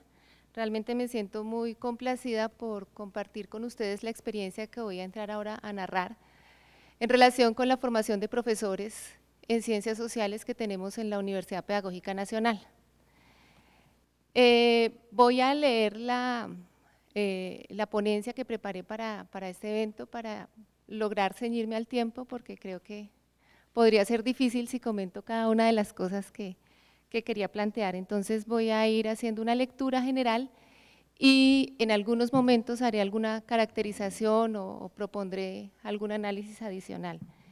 Eh, me parece importante decir que la experiencia que voy a presentar surge del trabajo con estudiantes de licenciatura en educación básica con énfasis en ciencias sociales, que son estudiantes de la universidad que se preparan para ser maestros de la básica y de la media, es decir, de todos los grados de la escuela eh, en, el país, en el marco del área de ciencias sociales en donde están inscritas la historia, la geografía, la cívica, eh, la enseñanza en ciencias económicas y en eh, política que se enseña en la media. Entonces, más o menos ese es el contexto general de la formación que reciben estos estudiantes. Eh, para atender esta invitación a emprender diálogos y compartir experiencias en torno al análisis acerca de la educación en contextos de violencia, a partir, por a partir de la pregunta por lo que puede hacer la Escuela por la Paz y los Derechos Humanos, considero pertinente ubicar el contexto colombiano en cuatro ámbitos de reflexión. Primer ámbito corresponde al examen de los sentidos atribuidos a la paz y a las demandas de distintos sectores gubernamentales, políticos y sociales a la educación para alcanzar ese anhelo de paz. El segundo ámbito se refiere a las prácticas educativas asociadas a las matrices del pensamiento único, el autoritarismo, el racismo, el patriarcalismo, que se encuentran directamente relacionados con los factores que perpetúan la confrontación en Colombia y que se convierten en el principal obstáculo para el desarrollo de propuestas educativas asociados a escenarios de equidad y participación democrática. El tercer ámbito atañe a la reflexión derivada de la experiencia en la formación de profesores en este contexto restrictivo, cuando se enfrentan los temas asociados al conflicto armado colombiano en prácticas pedagógicas, tanto en la escuela como en escenarios organizativos. Y el cuarto ámbito que voy a presentar son las experiencias de paz en Colombia, en particular aquellas, aquellas que se han convertido en formas de acción colectiva en resistencia civil frente al conflicto armado. Voy a hablar en particular de las comunidades de paz, del Urabá antioqueño y de manera específica de la comunidad de paz de San José de Apartado. A partir de la categoría de aprendizaje político planteada por Paloma Aguilar como una posibilidad para pensar la paz y los derechos humanos desde la educación en un horizonte que no solamente es el escolar, sino que también es el educativo. Entonces aquí hay una primera precisión importante y es que lo que voy a plantear no solamente tiene que ver con la escuela, sino con la comunidad, porque en el ámbito de formación en el que trabajamos concebimos la escuela en relación con la comunidad. Me voy a referir entonces a cada uno de estos cuatro ámbitos. El primero tiene que ver con los, es un recorrido un poco eh, extenso, pero lo voy a sintetizar, acerca de los tratados, de los acuerdos, de los procesos de paz en Colombia. Como ustedes saben, en este momento nos encontramos en el proceso de paz que se adelanta desde hace ya tres años en La Habana y es posible que en la agenda de, la región este proceso sea muy importante, pero no es el único y podríamos, podemos ver allí que durante todo el siglo XX hemos tenido este tipo de procesos. A lo largo del siglo XX, en ocho ocasiones el Estado colombiano ha firmado acuerdos plenos o parciales o ha promovido procesos de paz que han tenido incidencia en el orden institucional, en las prácticas, eh, en las prácticas políticas y en la educación. Los cuatro primeros acuerdos, que son los que ustedes ven ahí, que es el Tratado de Wisconsin, Irlanda y Chinacota, que fue el, fueron los tratados que le pusieron fin a la, a, la, a la, guerra civil que denominamos la Guerra de los Mil Días, que fue una guerra de tres años, de 1899 a 1902. El siguiente fue un momento de pausa política en, esa confrontación entre los partidos liberal y conservador a propósito de un conflicto fronterizo que el país tuvo con el Perú entre el 30 y el 33. El otro es la entrega de armas por parte de las guerrillas liberales en los años 50. En, este, en esta década tuvimos un proceso de violencia agudo en el país. Se cuentan más de 300.000 víctimas de enfrentamientos entre el Partido Liberal y el Partido Conservador, fundamentalmente de las bases campesinas y este tercer tratado, pues, o ese tercer acuerdo tiene que ver con ese proceso de desmovilización de esas guerrillas y el Pacto de San Carlos, que es un pacto bipartidista que dio apertura a lo que se llamó en el país el Frente Nacional, un acuerdo de eh, gobierno entre los dos partidos para las siguientes décadas. Los cuatro primeros acuerdos, estos que les acabo de señalar, estaban referidos a distintos momentos del enfrentamiento entre los dos partidos tradicionales, que antes del Frente Nacional siempre habían llevado los resultados de las urnas a la confrontación bélica. En este periodo se le exigió a la educación y en particular a la escuela responder al anhelo de paz mediante la promoción de la convivencia entre los dos partidos, la eliminación de factores de disenso de los contenidos curriculares y de las actividades escolares y la orientación de los planes de estudio y los procesos formativos a partir de los principios nacionalistas constitucionales de 1886 y los valores conservadores y católicos de la regeneración. Entonces se hicieron cuatro procesos de paz, pero el contexto educativo al que, al que se dirigieron esos tratados o eh, que se le exigió a la educación estuvieron siempre respondiendo a un criterio que fue alcanzar la eh, eh, convivencia pacífica entre los dos partidos. Posteriormente tenemos otros tratados, los siguientes cuatro acuerdos y procesos ocurridos entre 1984 y la actualidad han sido protagonizados ya no por los partidos tradicionales, sino por el Estado colombiano y los grupos armados de distintas orientaciones ideológicas con presencia militar en extensas regiones del país. Esta fase eh, de procesos y acuerdos de paz se complejizó con el crecimiento acelerado del narcotráfico, y con la aparición y consolidación de los grupos paramilitares cuya acción armada en connivencia con miembros de la fuerza pública, de grupos políticos regionales y de sectores empresariales obstaculizó mediante distintos procesos de victimización, procesos que iban desde la amenaza, el desplazamiento, hasta la tortura, la desaparición, las masacres y los asesinatos selectivos, la apertura política representada en los nuevos partidos producto de las negociaciones con las guerrillas. Aquí están los dos momentos, digamos, importantes de firmas de acuerdos de paz en el país eh, en la historia más reciente, del 84 al 94, con varios grupos guerrilleros, y el proceso de paz que se llevó a cabo en el Caguán durante el periodo de la presidencia de Andrés Pastrana. En este periodo surgieron mm, propuestas políticas, partidos políticos, que lograron incorporarse a la vida civil y abrir propuestas participativas eh, nuevas, distintas a las del bipartidismo. Estas dos propuestas políticas en particular, la Unión Patriótica, que se derivó en los años 80 de la experiencia de negociación con las FARC, fue prácticamente eh, exterminado, y la Alianza Democrática M19, que se conformó en función de participar en la Asamblea Constituyente de 1990, después de las elecciones también sufrió varios procesos de victimización y finalmente fue también exterminado. Al iniciarse el gobierno de Andrés Pastrana surgió nuevamente la alternativa de un proceso de paz con las FARC que duró cuatro años, pero cuyo resultado no se puede ponderar en los acuerdos de paz, porque finalmente el Estado y la guerrilla reafirmaron su condición de enemigos militares y volvieron a la confrontación. La paradoja de la paz en Colombia en esos años, donde la expectativa de paz se choca permanentemente con las acciones de guerra y con la victimización de la población civil, la encuentra Darío Villamizar en dos escenas de esperanza y dolor que caracterizan el periodo. Son estas dos fotografías que, pueden ver ahí. La primera es Carlos Pizarro, uno de los líderes del movimiento guerrillero M19, eh, el 8 de marzo de 1990, envolviendo su, arma en la bandera de Colombia y entregando el arma en una mesa donde hay varios fusiles. Y la otra escena es el mismo Carlos Pizarro asesinado unos meses después. Dos imágenes que se quedaron grabadas en la mente y corazones de los colombianos simbolizan la paz de finales del siglo XX en sus dimensiones contrarias de esperanza y frustración. Se trata del momento en que Carlos Pizarro León Gómez, líder del M-19, envolvió su pistola Pietro Beretta en la bandera de Colombia y la dejó sobre una mesa donde ya reposaban decenas de fusiles. Era el 9 de marzo de 1990 y ese día, pese, a la incertidumbre, los hasta entonces combatientes permitían respirar un aire de esperanza. En la otra imagen, dramática por cierto, está el mismo Pizarro dentro de un ataúd y a su lado desfilan millares de personas que rezan, lloran y blasfeman.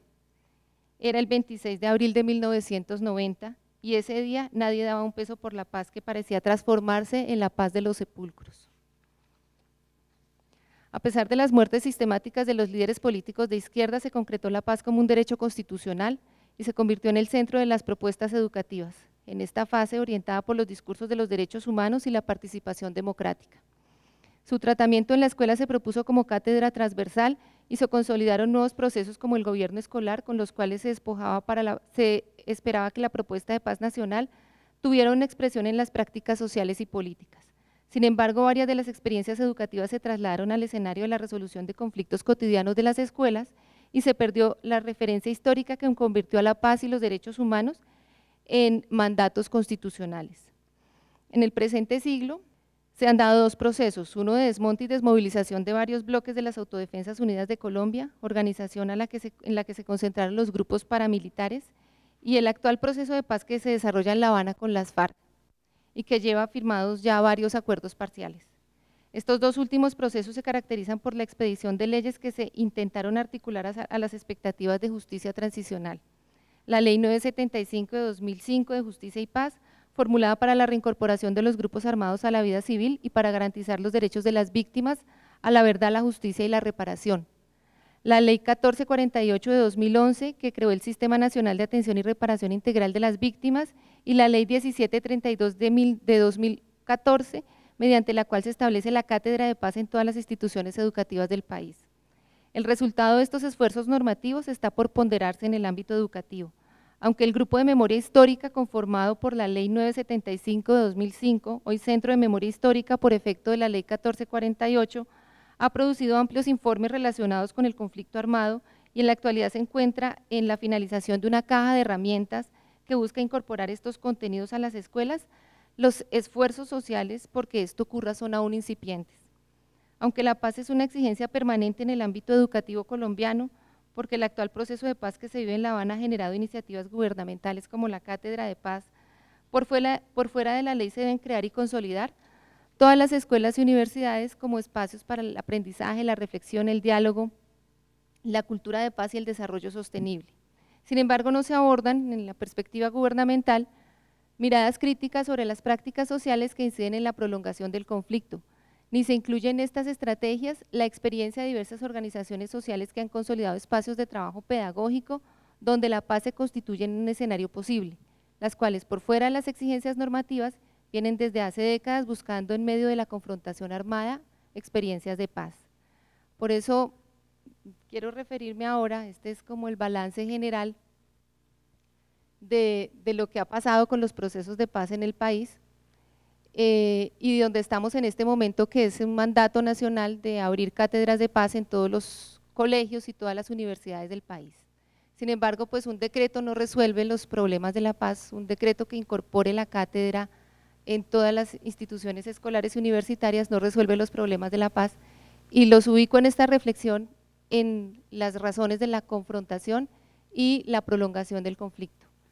Em, en, este segundo punto lo que quiero señalar es cómo en la agenda de las negociaciones a nivel nacional nunca han estado los determinantes eh, sociales y culturales que prolongan el conflicto desde prácticas patriarcales, racistas y autoritarias. Como ustedes pueden ver ahí, hay seis puntos en la agenda de las negociaciones en La Habana, que son las políticas de desarrollo agrario, la participación política, las medidas para poner fin al conflicto, las drogas ilícitas, las víctimas y la implementación y verificación y refrendación de los acuerdos. En este momento se han eh, firmado acuerdos parciales con respecto a la política de desarrollo agrario, a la participación política y a las drogas ilícitas.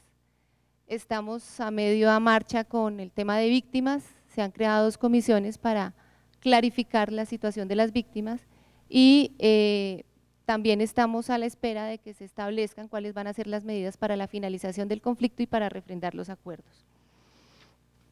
Eh, tres de estos seis puntos ya cuentan con acuerdos parciales y se crearon comisiones para el esclarecimiento de la verdad y se constituyeron mecanismos para restituir los derechos de las víctimas como insumo para avanzar en el quinto punto para comprender la complejidad del conflicto para establecer la responsabilidad de quienes hayan incidido o participado en la guerra y para esclarecer la verdad se creó la Comisión Histórica del Conflicto y sus Víctimas, conformada por 12 expertos y dos relatores con amplia trayectoria en el tema. El informe consiste en dos ensayos y dos relatorías que comparan los planteamientos de estos académicos con respecto a los orígenes y causas del conflicto, los factores y condiciones que han contribuido a su prolongación y los efectos en la población civil. Aunque uno de los aspectos tratados corresponde a los factores de prolongación de la guerra, en la mayoría de ensayos esta prolongación se asocia a tesis relacionadas con el orden capitalista, la precariedad del Estado, la injerencia de Estados Unidos en nuestra guerra y las condiciones sistemáticas y congénitas de expresiones de subversión y contrainsurgencia, pero se analizan en menor medida las prácticas sociales patriarcales, racistas y autoritarias en las experiencias educativas donde se activan y prolongan estos códigos de la confrontación armada. Entonces quiero ilustrar con dos ejemplos recientes cómo es que ocurre la confrontación en las escuelas y por qué esa confrontación, tal como ocurre en las escuelas, es una manera de prolongar la lucha armada en Colombia. Eh, ilustraré esta situación con dos casos que muestran las raíces profundas de la violencia política en las prácticas sociales, teniendo como referente la institución escolar. El primer caso ocurrió en el departamento del Cauca, en el resguardo de San Andrés de Pizimbalá, ubicado en el municipio de Insa, al suroccidente del país. Ustedes pueden, ver ahí el mapa de Colombia muy pequeñito y al suroccidente está el departamento del Cauca y está sombreado el municipio en donde se encuentra el, resguardo de San, de San Andrés de Pizimbalá. Allí queda ubicada la institución microempresarial agropecuaria de San Andrés, centro de confrontación entre comunidades indígenas y campesinas desde el año 2010. La institución fue creada en 1994 y se encuentra conformada por 10 sedes. Según su proyecto educativo institucional, comillas, la institución atiende a una población estudiantil multiétnica proveniente de diferentes veredas del municipio de Insay Paez. Por esta razón, además de las áreas obligatorias, se propuso el área de cultura y sociedad, desde los grados quinto a noveno con el fin de fortalecer y respetar la identidad cultural de cada uno de los estudiantes. Sin embargo, este propósito institucional contrasta con varios hechos de violencia ocurridos desde el año 2010 por el control de la institución entre comunidades indígenas y campesinos. Según las declaraciones de Carlos Vicente Balcázar, quien se desempeñaba como director del núcleo educativo de INSA, desde el 21 de abril de 2010, las comunidades indígenas pidieron a la administración del centro educativo el control total porque está ubicada en el territorio indígena y le impidieron el ingreso a los, a los estudiantes campesinos. Desde ese momento la, la, comunidad indígena cerró la escuela con candados y cadenas y le impidió la entrada a la comunidad campesina.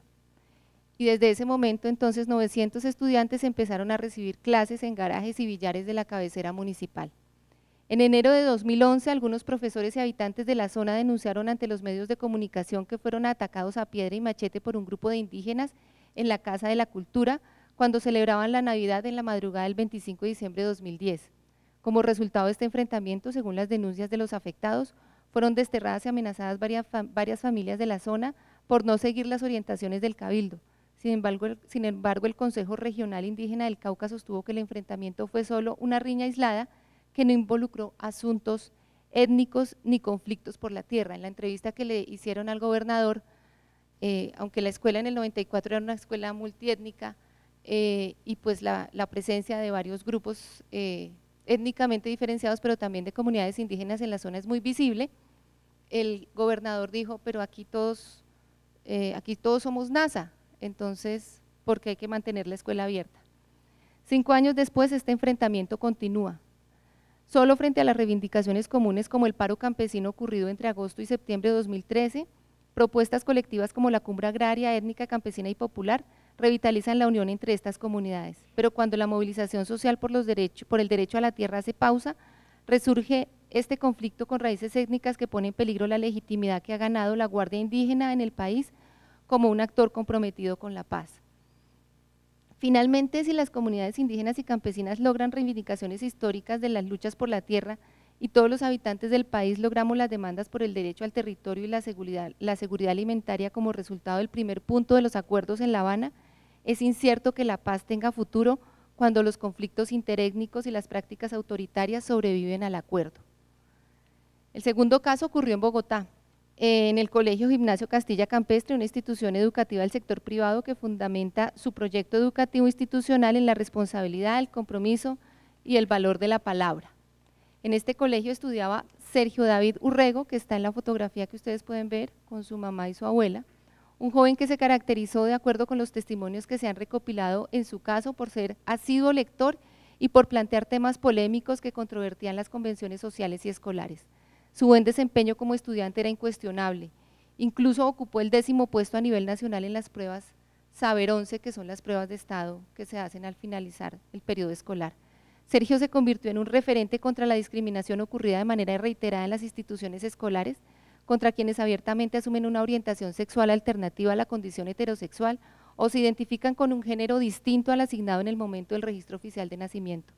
Infortunadamente no se convirtió en un referente porque sus planteamientos hayan cuestionado los cánones fundamentales del establecimiento donde estudiaba, sino porque decidió suicidarse después de ser víctima de reiterados actos de persecución y discriminación por parte de profesores y directivas del colegio. En el mes de mayo de 2014, una amiga de Sergio le tomó una foto mientras le daba un beso a Daniel Ospina, con quien sostenía una relación sentimental. En ese momento el profesor de educación física Mauricio Ospina decomisó el celular donde quedó registrada la foto y lo presentó a las directivas que inmediatamente remitieron a los jóvenes a orientación psicológica para que explicaran ante la coordinadora del colegio y cuatro docentes más su relación de pareja y los obligaron a confesar ante sus padres la situación ocurrida antes del 20 de junio del mismo año. Sergio recibió el apoyo de sus padres, pero no ocurrió lo mismo con Daniel, quien fue retirado del colegio. La rectora le impidió a Sergio regresar a la institución y obligó a la familia a garantizar un acompañamiento psicológico mensual sin embargo, esto no sirvió de nada porque la, rectora le impidió volver definitivamente al colegio y le impidió graduarse en el colegio.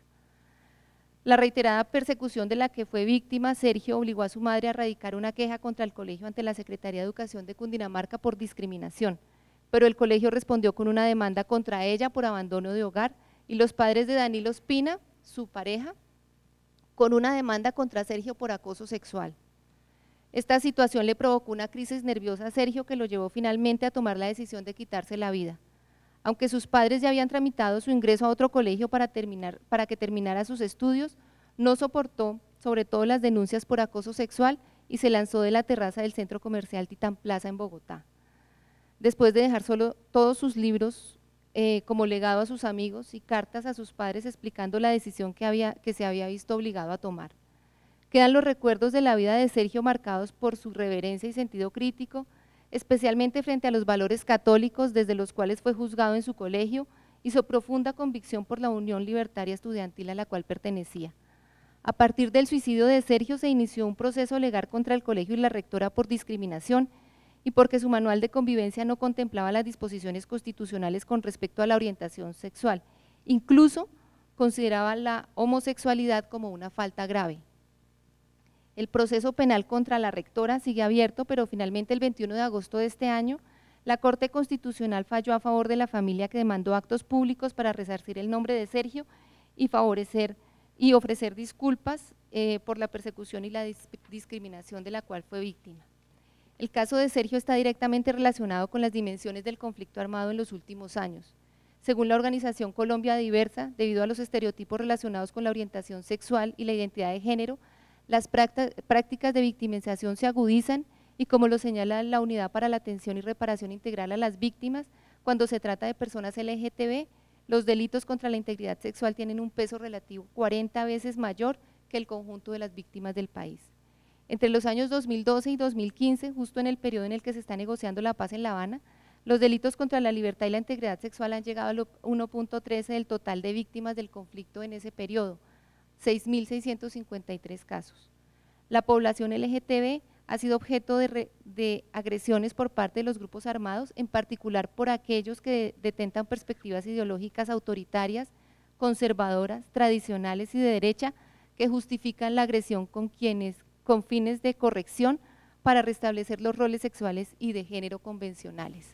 Esto pasa mucho en las regiones del país donde existe presencia paramilitar y se difunden panfletos amenazantes contra la comunidad LGTB para que cambie su orientación sexual o su eh, condición de género.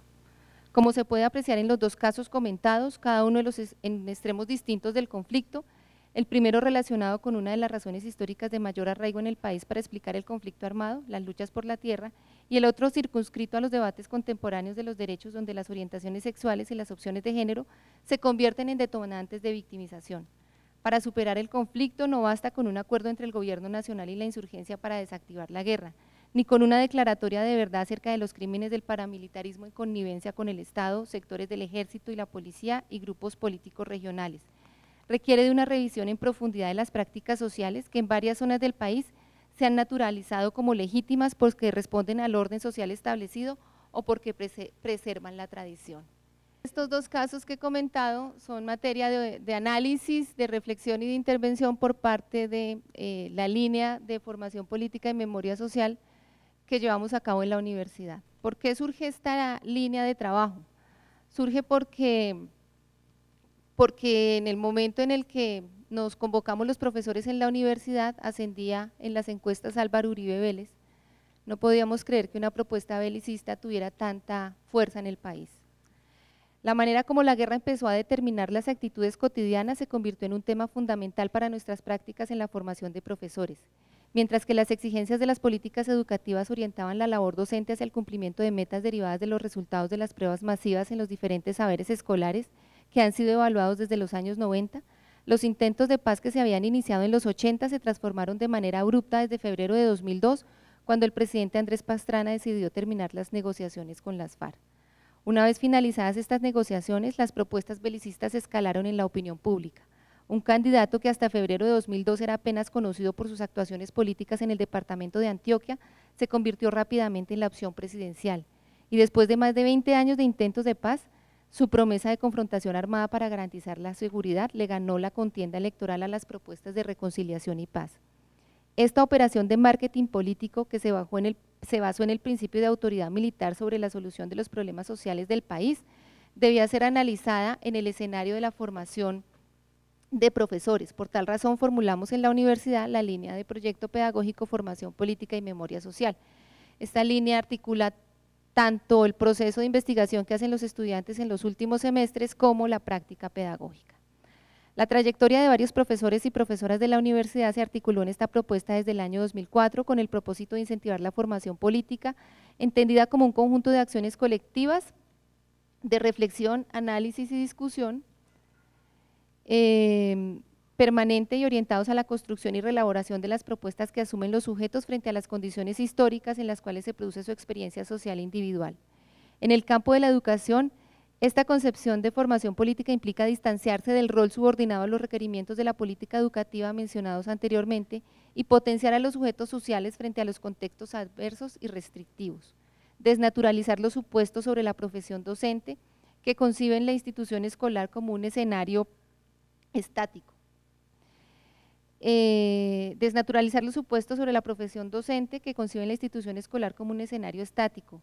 Destituir las propuestas de corte doctrinario cuyo resultado es la subordinación política y la simplificación de los escenarios en los que se produce la subjetividad y abordar las acciones colectivas y los temas controversiales excluidos de la memoria oficial y de los contenidos educativos regulares para analizar las políticas de la memoria que los excluyeron como saberes legítimos y para afianzar una práctica política de construcción de memoria social sobre dichos saberes. Este fue, digamos que, nuestro punto de partida y nuestro contexto de acción con los estudiantes. A partir de estas orientaciones conceptuales se desarrolló una propuesta de formación con estudiantes de la licenciatura en Educación Básica con énfasis en ciencias sociales que se compone de cuatro niveles. Para los escenarios escolares, porque trabajamos en escenarios escolares y en escenarios comunitarios, en el primer nivel los estudiantes formulan proyectos, problemas sociales referidos a saberes excluidos del ámbito escolar. En el segundo nivel los estudiantes diseñan una propuesta pedagógica, ya voy acá. perdón, perdón. Bueno, voy a pasar esta parte. El, metodológicamente nosotros construimos eh, cuatro niveles con los estudiantes que están en los escenarios escolares, en donde ellos eh, formulan una propuesta pedagógica y luego la desarrollan en los escenarios escolares, con la tutoría de los profesores que estamos en la línea. Y en los escenarios organizativos y comunitarios se desarrollan en dos momentos, el primer y segundo nivel de formulación del problema social en negociación permanente con la organización social o con la comunidad que nos recibe, y el tercer y cuarto nivel los estudiantes hacen su trabajo de intervención, de construcción colectiva con la comunidad y de sistematización de la experiencia. Durante este proceso nosotros eh, desarrollamos varios seminarios eh, orientados a fundamentar las categorías de la línea, pero también eh, incorporar los resultados que permanentemente realizan los estudiantes en sus trabajos de investigación.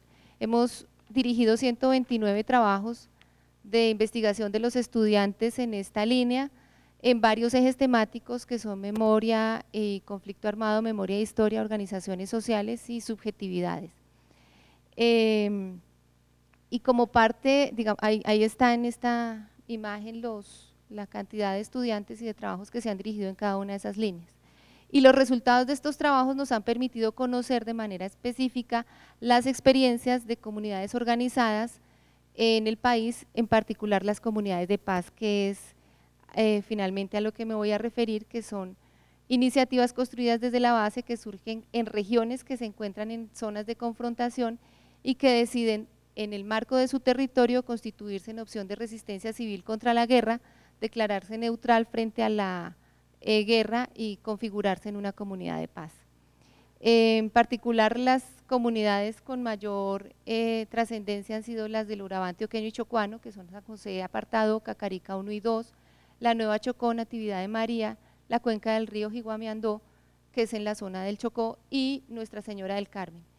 Estas comunidades han sido apoyadas por la diócesis de Apartado, por la Comisión Intereclesial eh, Intercongregacional de Justicia y Paz y por el CINEP, que son Centros de Investigación Popular. Y eh, estas comunidades que habitan en un territorio de alta conflictividad histórica, en donde tiene asiento la guerrilla, tuvo, eh, fue, fue una zona de irrupción paramilitar muy fuerte en los años 80 a propósito de la apertura política que se dio en esa zona, y es una zona estratégica tanto para la guerra como para los proyectos eh, agroindustriales eh, y productivos de, la élite política. esta, esta, comunidad se ha basado en varios principios que son fundamentales y que creo yo permiten una incorporación de estos principios en las instituciones escolares en, la perspectiva del aprendizaje político que propone Paloma Aguilar. El primero son las formas de producción comunitarias, ante formas de producción ligadas fundamentalmente con eh, prácticas individualistas, la comunidad de paz de San José de Apartado logró configurarse como una comunidad de producción colectiva, tienen un comité donde están los proyectos eh, productivos de la comunidad y todos esos proyectos eh, productivos tienen una propiedad también colectiva y una distribución colectiva de los recursos cuando se comercializan unos referentes políticos que son la neutralidad, la participación, la libertad y la transparencia, que son principios políticos y éticos de la comunidad con respecto a los cuales eh, han podido eh, establecer una distancia con los grupos armados que habitan en la región. Estos principios éticos y políticos no han sido fáciles de los 1.500 fundadores de la Comunidad de Paz de San José de Apartado, entre el 97 que, se, que existió la Declaratoria de Comunidad de Paz y el 2005 han asesinado, habían asesinado 180 miembros de la Comunidad de Paz. Es decir, declararse neutral en medio de la guerra no es necesariamente que los actores armados efectivamente respeten que hay una condición de declaratoria de paz. Pero este ejercicio político de esta comunidad ha sido emblemático y considero que es fundamental en el trabajo que hacemos en las instituciones escolares. Y tiene dos campos de acción, uno interno y uno externo. El interno tiene que ver con las prácticas de memoria, que fundamentalmente está asociado a las reflexiones políticas del, pasado en relación con el presente, y un externo que tiene que ver con eh, la presencia jurídica de la comunidad de paz, no en los escenarios jurídicos nacionales, sino en los escenarios jurídicos internacionales. Aquí está la comunidad de paz en las actividades de trabajo, la escuela La Resbalosa, que es, La Resbalosa es una de las veredas en donde estos principios de la comunidad tienen su escenario de, debate, en los campos de acción de la conmemoración y de las marchas por la memoria y las galerías de la memoria, y este que me parece muy importante, que es la declaratoria de neutralidad, esta es una foto de San Josecito, San Josecito fue un poblado que tuvieron que, que configurar alternativo a San José de Apartado en el 2005 en una erupción paramilitar donde asesinaron dos familias completas, incluyendo los niños pequeños, y el presidente Álvaro Uribe dijo que era una masacre que tenía que ver con asuntos de otro tipo, que no tenía que ver con la erupción paramilitar y que en San José de Apartado había, había gente buena, pero que era muy posible que esos que habían sido asesinados fueran auxiliadores de las FARC.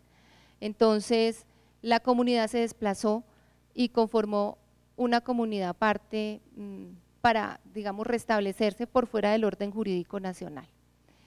Eh, pienso que estas experiencias, que es una experiencia comunitaria, nos permite generar un aprendizaje político tal como Paloma Aguilar lo ha planteado. El aprendizaje político que se deriva de la experiencia de estas comunidades es fundamental para la reconstrucción democrática y para la consolidación del nuevo orden político en el cual se compromete una sociedad después de superar una crisis en perspectiva de no repetir los hechos atroces. Y pienso que esta comunidad tiene, digamos, este, este recurso que nos es muy útil cuando pensamos los temas educativos para superar esas prácticas autoritarias a las que me refería con los ejemplos señalados.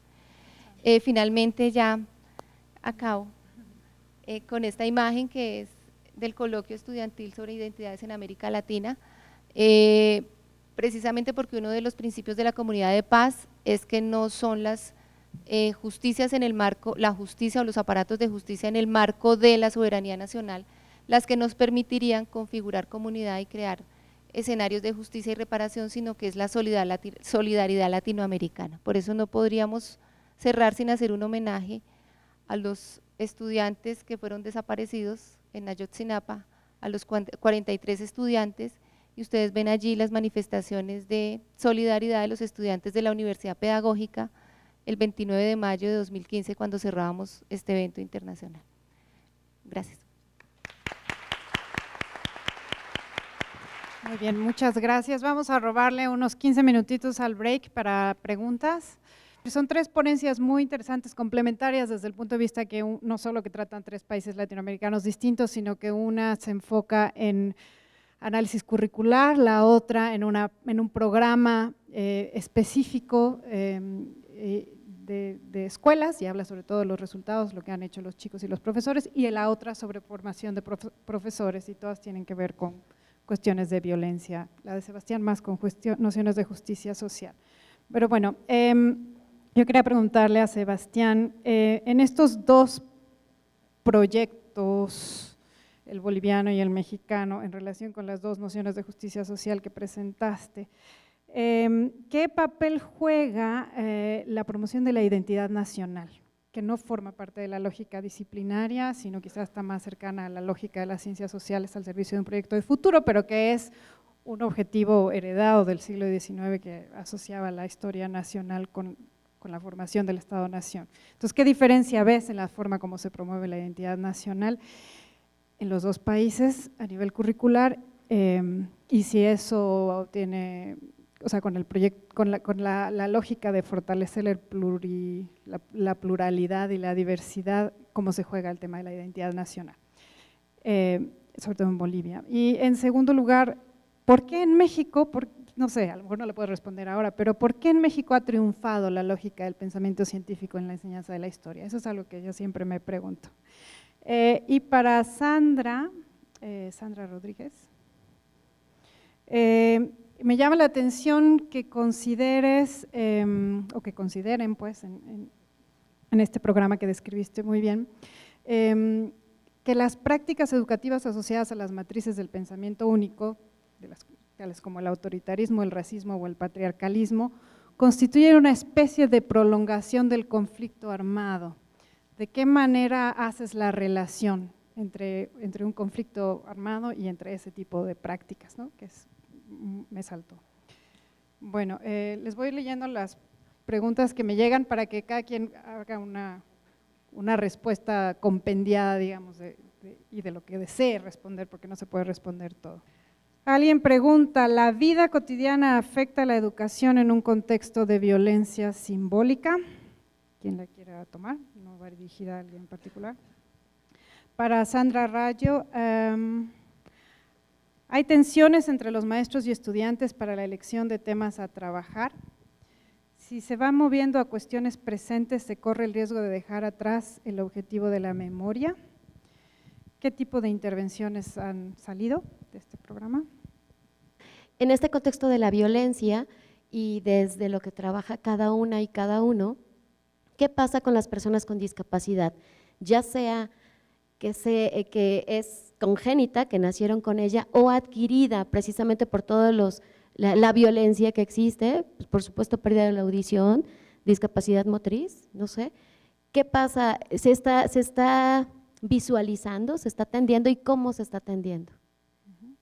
otra pregunta para Sandra Rodríguez. ¿Qué tipo de trabajos o experiencias realizan los estudiantes en sus investigaciones y prácticas en la UPN?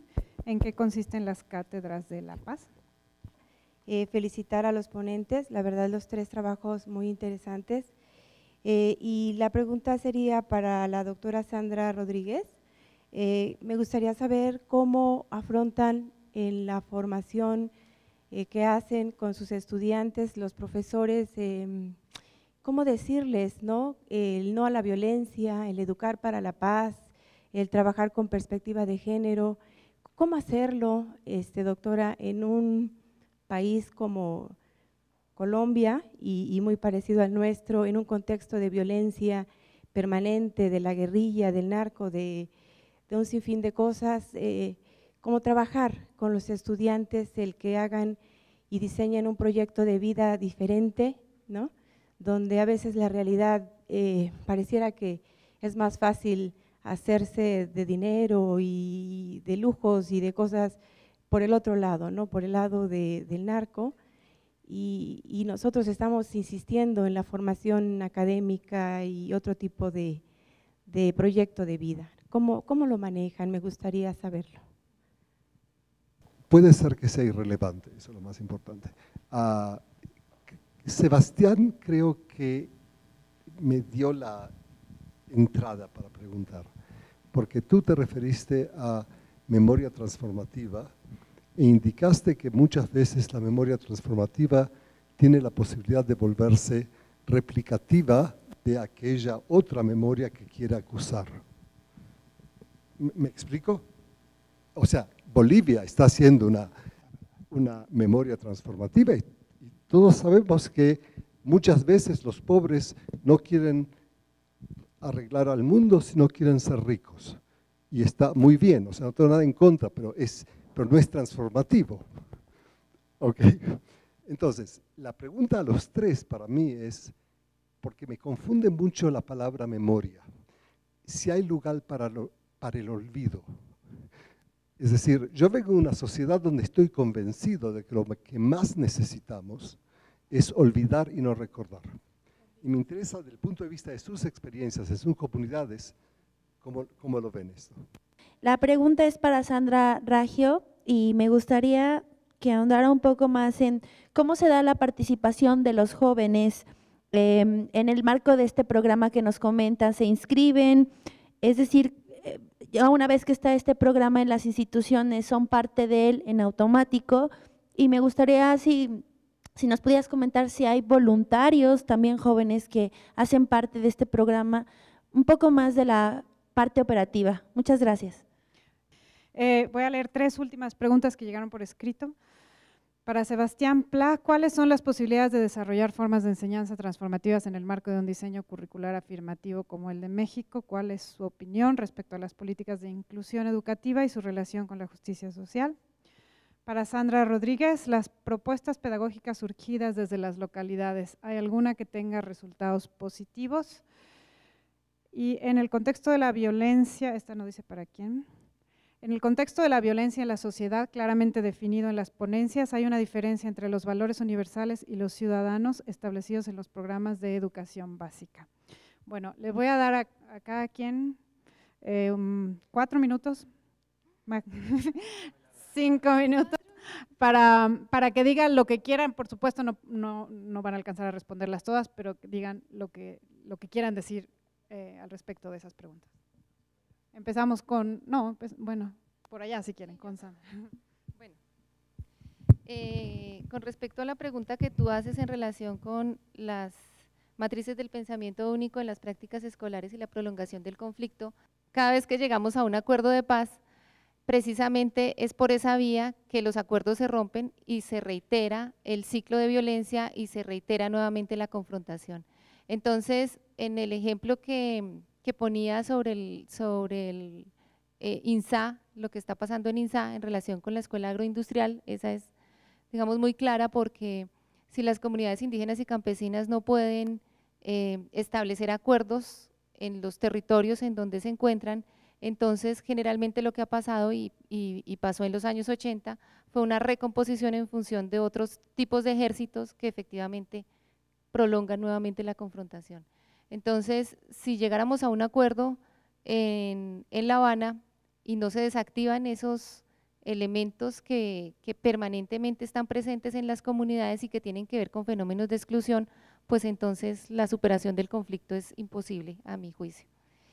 Eh, con respecto a las personas con discapacidad, que es una pregunta en relación con la, con la confrontación armada, em, pues los derechos de las comunidades con algún déficit motor o que tiene, o por ejemplo la comunidad sorda, eh, tienen, hay distintas políticas, digamos, de incorporación de esas comunidades en las prácticas educativas, pero en relación con el conflicto sí hay un fenómeno fuerte y es que la victimización cuando viene con procesos de mutilación, genera pues unos cambios unas afectaciones subjetivas importantes eh, de las víctimas de las, de las FARC, por ejemplo, los que más se han organizado en función de su condición de discapacidad son las víctimas de minas antipersonales, que efectivamente pues quedan vulneradas físicamente, pero además socialmente, y pues eso tiene una implicación también en, lo que sería la restauración de los derechos de las víctimas.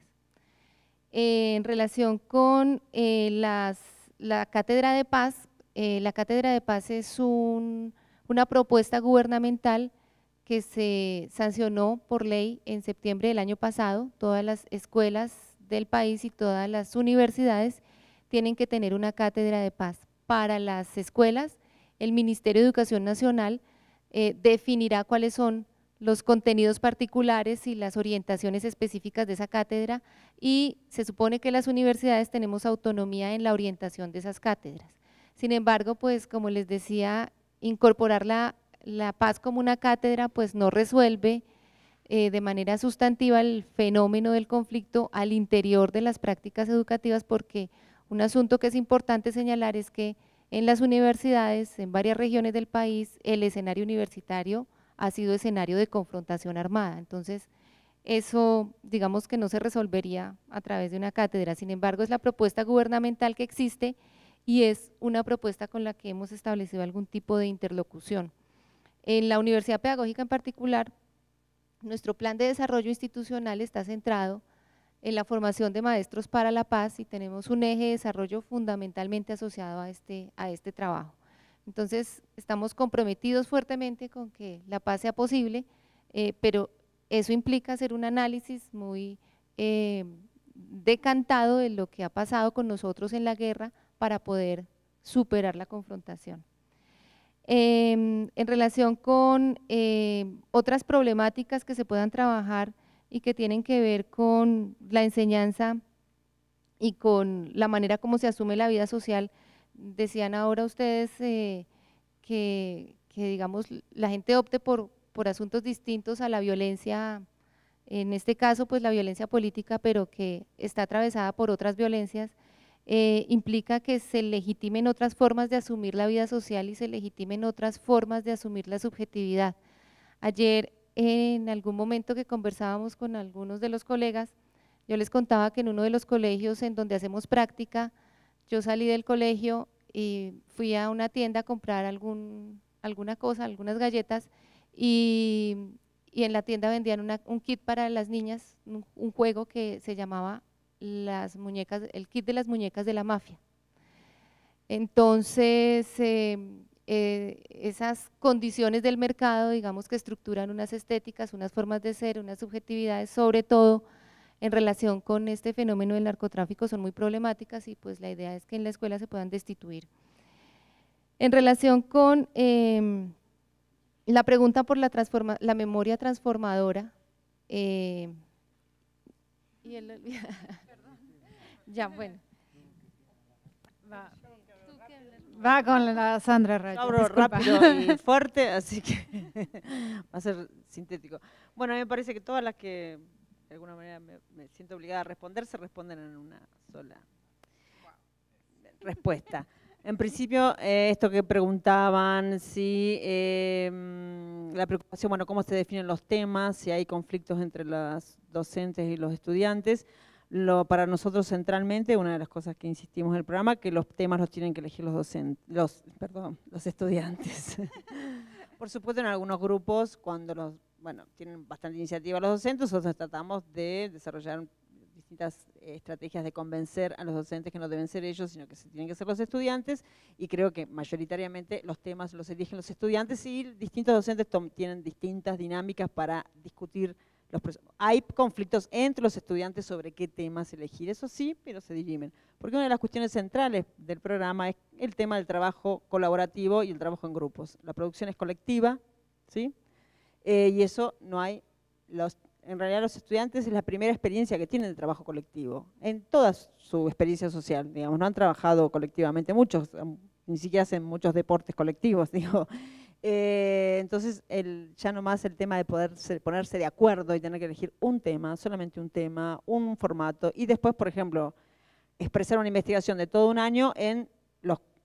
Tenemos mucha economía del tiempo, les pedimos que los cortos, por ejemplo, sean no más de 15 minutos, y ya nos parecen muy largos, entonces tienen que sintetizar en 15 minutos una investigación de todo un año, a lo mejor hacen 10, 15 entrevistas y tienen que contar todo en 15 minutos y eso es un trabajo de muchísimas negociaciones entre los grupos, cosa que a nosotros nos parece súper interesante. Eh, y, con esto de la, pregunta acerca de si los temas del presente de alguna manera están, están eh, generando de alguna manera un abandono de lo que es la memoria, digamos, un poco el presente que se come al pasado, digamos, ¿no? Bueno, esto se vincula con la pregunta esta del olvido bueno, la memoria es olvido, ¿no? O sea, si recordamos una cosa es que estamos olvidando otras, digamos. Y nosotros lo que pretendemos es generar un proceso de activación de los procesos de memoria donde se producen diferentes selectividades en esa relación dialéctica entre el pasado y el presente. Pero básicamente la operación de memoria es una operación del presente, digamos. Lo que no nos interesa es una memoria que esté ahí anquilosada, cristalizada y que se repita, ¿no? Y se, y y se repite y se repita, que es lo que puede pasar con la institucionalización de las políticas de memoria y con que haya una memoria oficial fuerte y que la escuela atiende siempre además a la repetición, a la ritualización del pasado. Bueno, precisamente tratamos de intervenir de una manera. ¿Cuál es la garantía de eso? Para nosotros la garantía de eso es la participación activa de las nuevas generaciones, donde puedan incluso ir generando una conceptualización, digamos, en acto de la memoria, que esa relación pasado-presente también vaya modificándose. el peso de la dictadura, digo, y esto lo podemos ver en otras sociedades del mundo, el peso de, el peso de determinados pasados, hay una discusión muy grande en torno a esto, si son los pasados que pesan o son los procesos de memoria, tiene que ver con la, con la dimensión constructivista de ese pasado. Bueno, hay una discusión grande teórica sobre eso, pero podemos decir que todas las sociedades que han atravesado experiencias traumáticas también es una discusión acerca de si son traumáticas estas experiencias sociales y colectivas.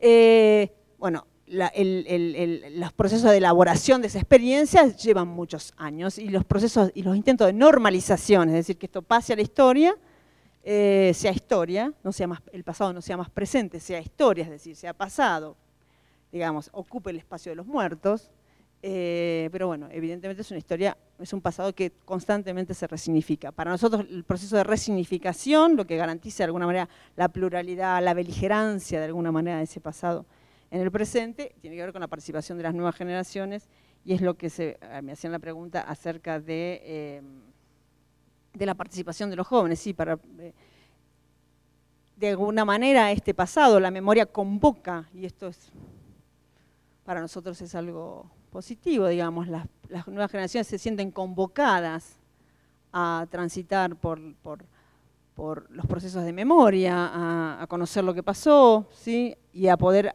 de alguna manera relacionar dialécticamente eso que pasó con lo que les pasa, que es lo que nos interesa a nosotros generar, que lo que les pasó, lo que pasó de alguna manera les pasa, de alguna manera ese pasado está en su presente, en su propia subjetividad, en quiénes son. Eh, eh, y bueno, y sí, hay una, participación muy grande de los jóvenes desde la elección del proyecto, del tema de investigación, eh, la investigación, digamos, ir a, ir a territorio, hacer el trabajo de campo, hacer las entrevistas y lo que implica también el resultado final, hacer el corto, filmarlo, hacer el corto, hacer la obra de teatro, armar el guion, todo eso lo hacen los jóvenes y en el encuentro final, en esto de Chapalmalal, que es el lugar donde nos encontramos, hay una participación muy activa de los jóvenes. Prácticamente el evento lo organizan los jóvenes desde el inicio hacia el final, digamos, y sobre todo el final, que es el, en ese encuentro lo que hacen los, grupos es presentar todos los, todos los productos, hay cientos de obras de teatro, de cortos, de, van exponiendo, ¿no? en 20 minutos exponen lo que hicieron y eso también implica una construcción colectiva del conocimiento, digamos. Hay diferentes, hay trabajos que, abordan la violencia institucional hoy, la violencia de género, otros que trabajan la dictadura, distintas dimensiones de la dictadura, distintas dimensiones del presente, eso de alguna manera se va como construyendo en un gran relato con muchos matices, con muchos disensos, que van construyendo otras voces, otras posibilidades de, de pensar lo que pasó y lo que pasa.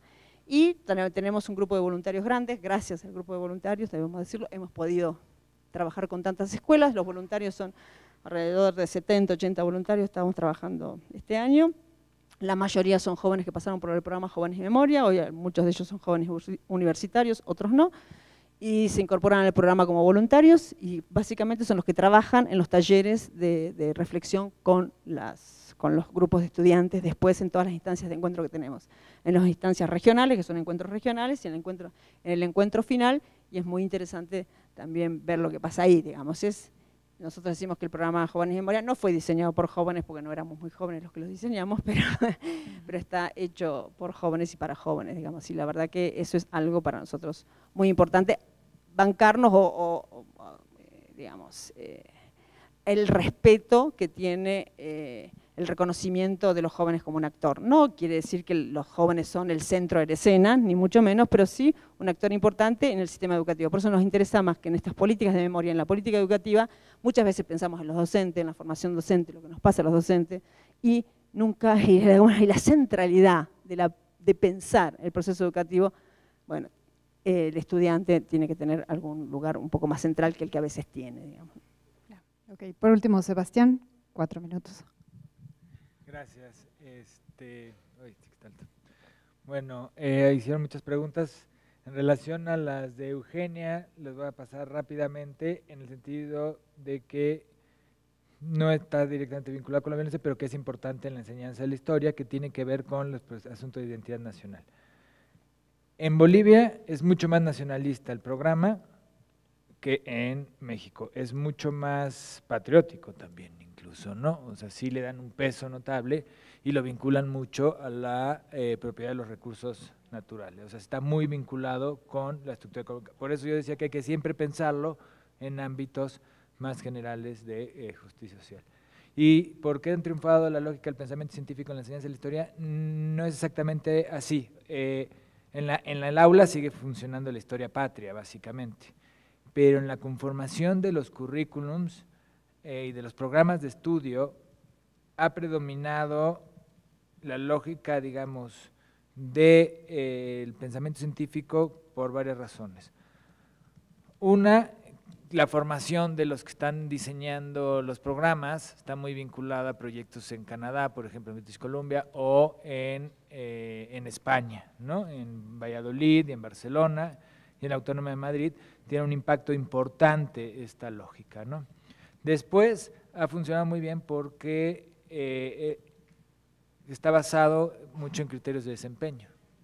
Entonces es fácilmente marcable en eh, evaluaciones a gran escala, en este, matrices de evaluación muy establecidas que permiten llevar un control bastante, bueno, por lo menos hipotéticamente bastante certero de los aprendizajes y, este, y otra porque yo creo que el gremio de los historiadores es un gremio potente en México y cumple una función importante en la opinión pública y también es un factor que entra en juego. ¿no?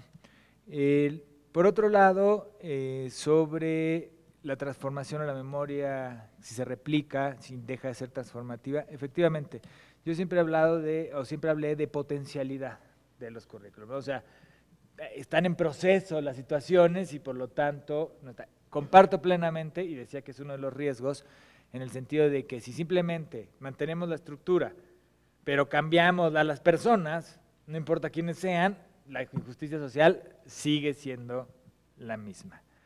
Entiendo también lo que dices de que los ricos lo que quieren es ser, eh, digo, los pobres lo que quieren ser ricos, pues eh, se puede matizar la aseveración, entiendo. Quieren ser clase media, los ricos quieren ser clase media. Pero bueno, la corrupción en México funciona. ¿Por qué nadie critica a, los, fuera de ciertos medios, a, los políticos corruptos? Porque si ellos llegan harían lo mismo, ¿no? Entonces, este, se vive con una naturalidad importante. Pero creo que no todos piensan así, ni todos estructuran así, y creo que sí hay búsquedas de pensar la justicia social en ciertas colectividades que pueden dar buenos resultados. O sea, yo no, no estoy metiendo las manos al fuego, ni mucho menos por el proyecto boliviano. Creo que tiene cosas importantes, creo que tiene cosas, insisto, que a veces se recluyen demasiado y no ven estos aspectos. Pero creo que por lo menos con toda la historia de colonialidad de América Latina, pues este que ha mostrado que no funciona en cuestión de justicia social, pues hay que dejar a que se haga ese intento, ¿no? Eh, pasaba algo, es política, pero pasaba algo similar, ¿no? Y no, tampoco es que defienda al partido de Andrés Manuel López Obrador, sino que se quejaban de que había puesto medio al azar la, designación de los candidatos políticos. Entonces, esto es antidemocrático. Está bien. Todos los otros partidos lo hicieron con conciencia y sin azar, y el, el resultado es patético. Entonces, pues dices, bueno, a ver qué prueben, a ver qué sale, ¿no?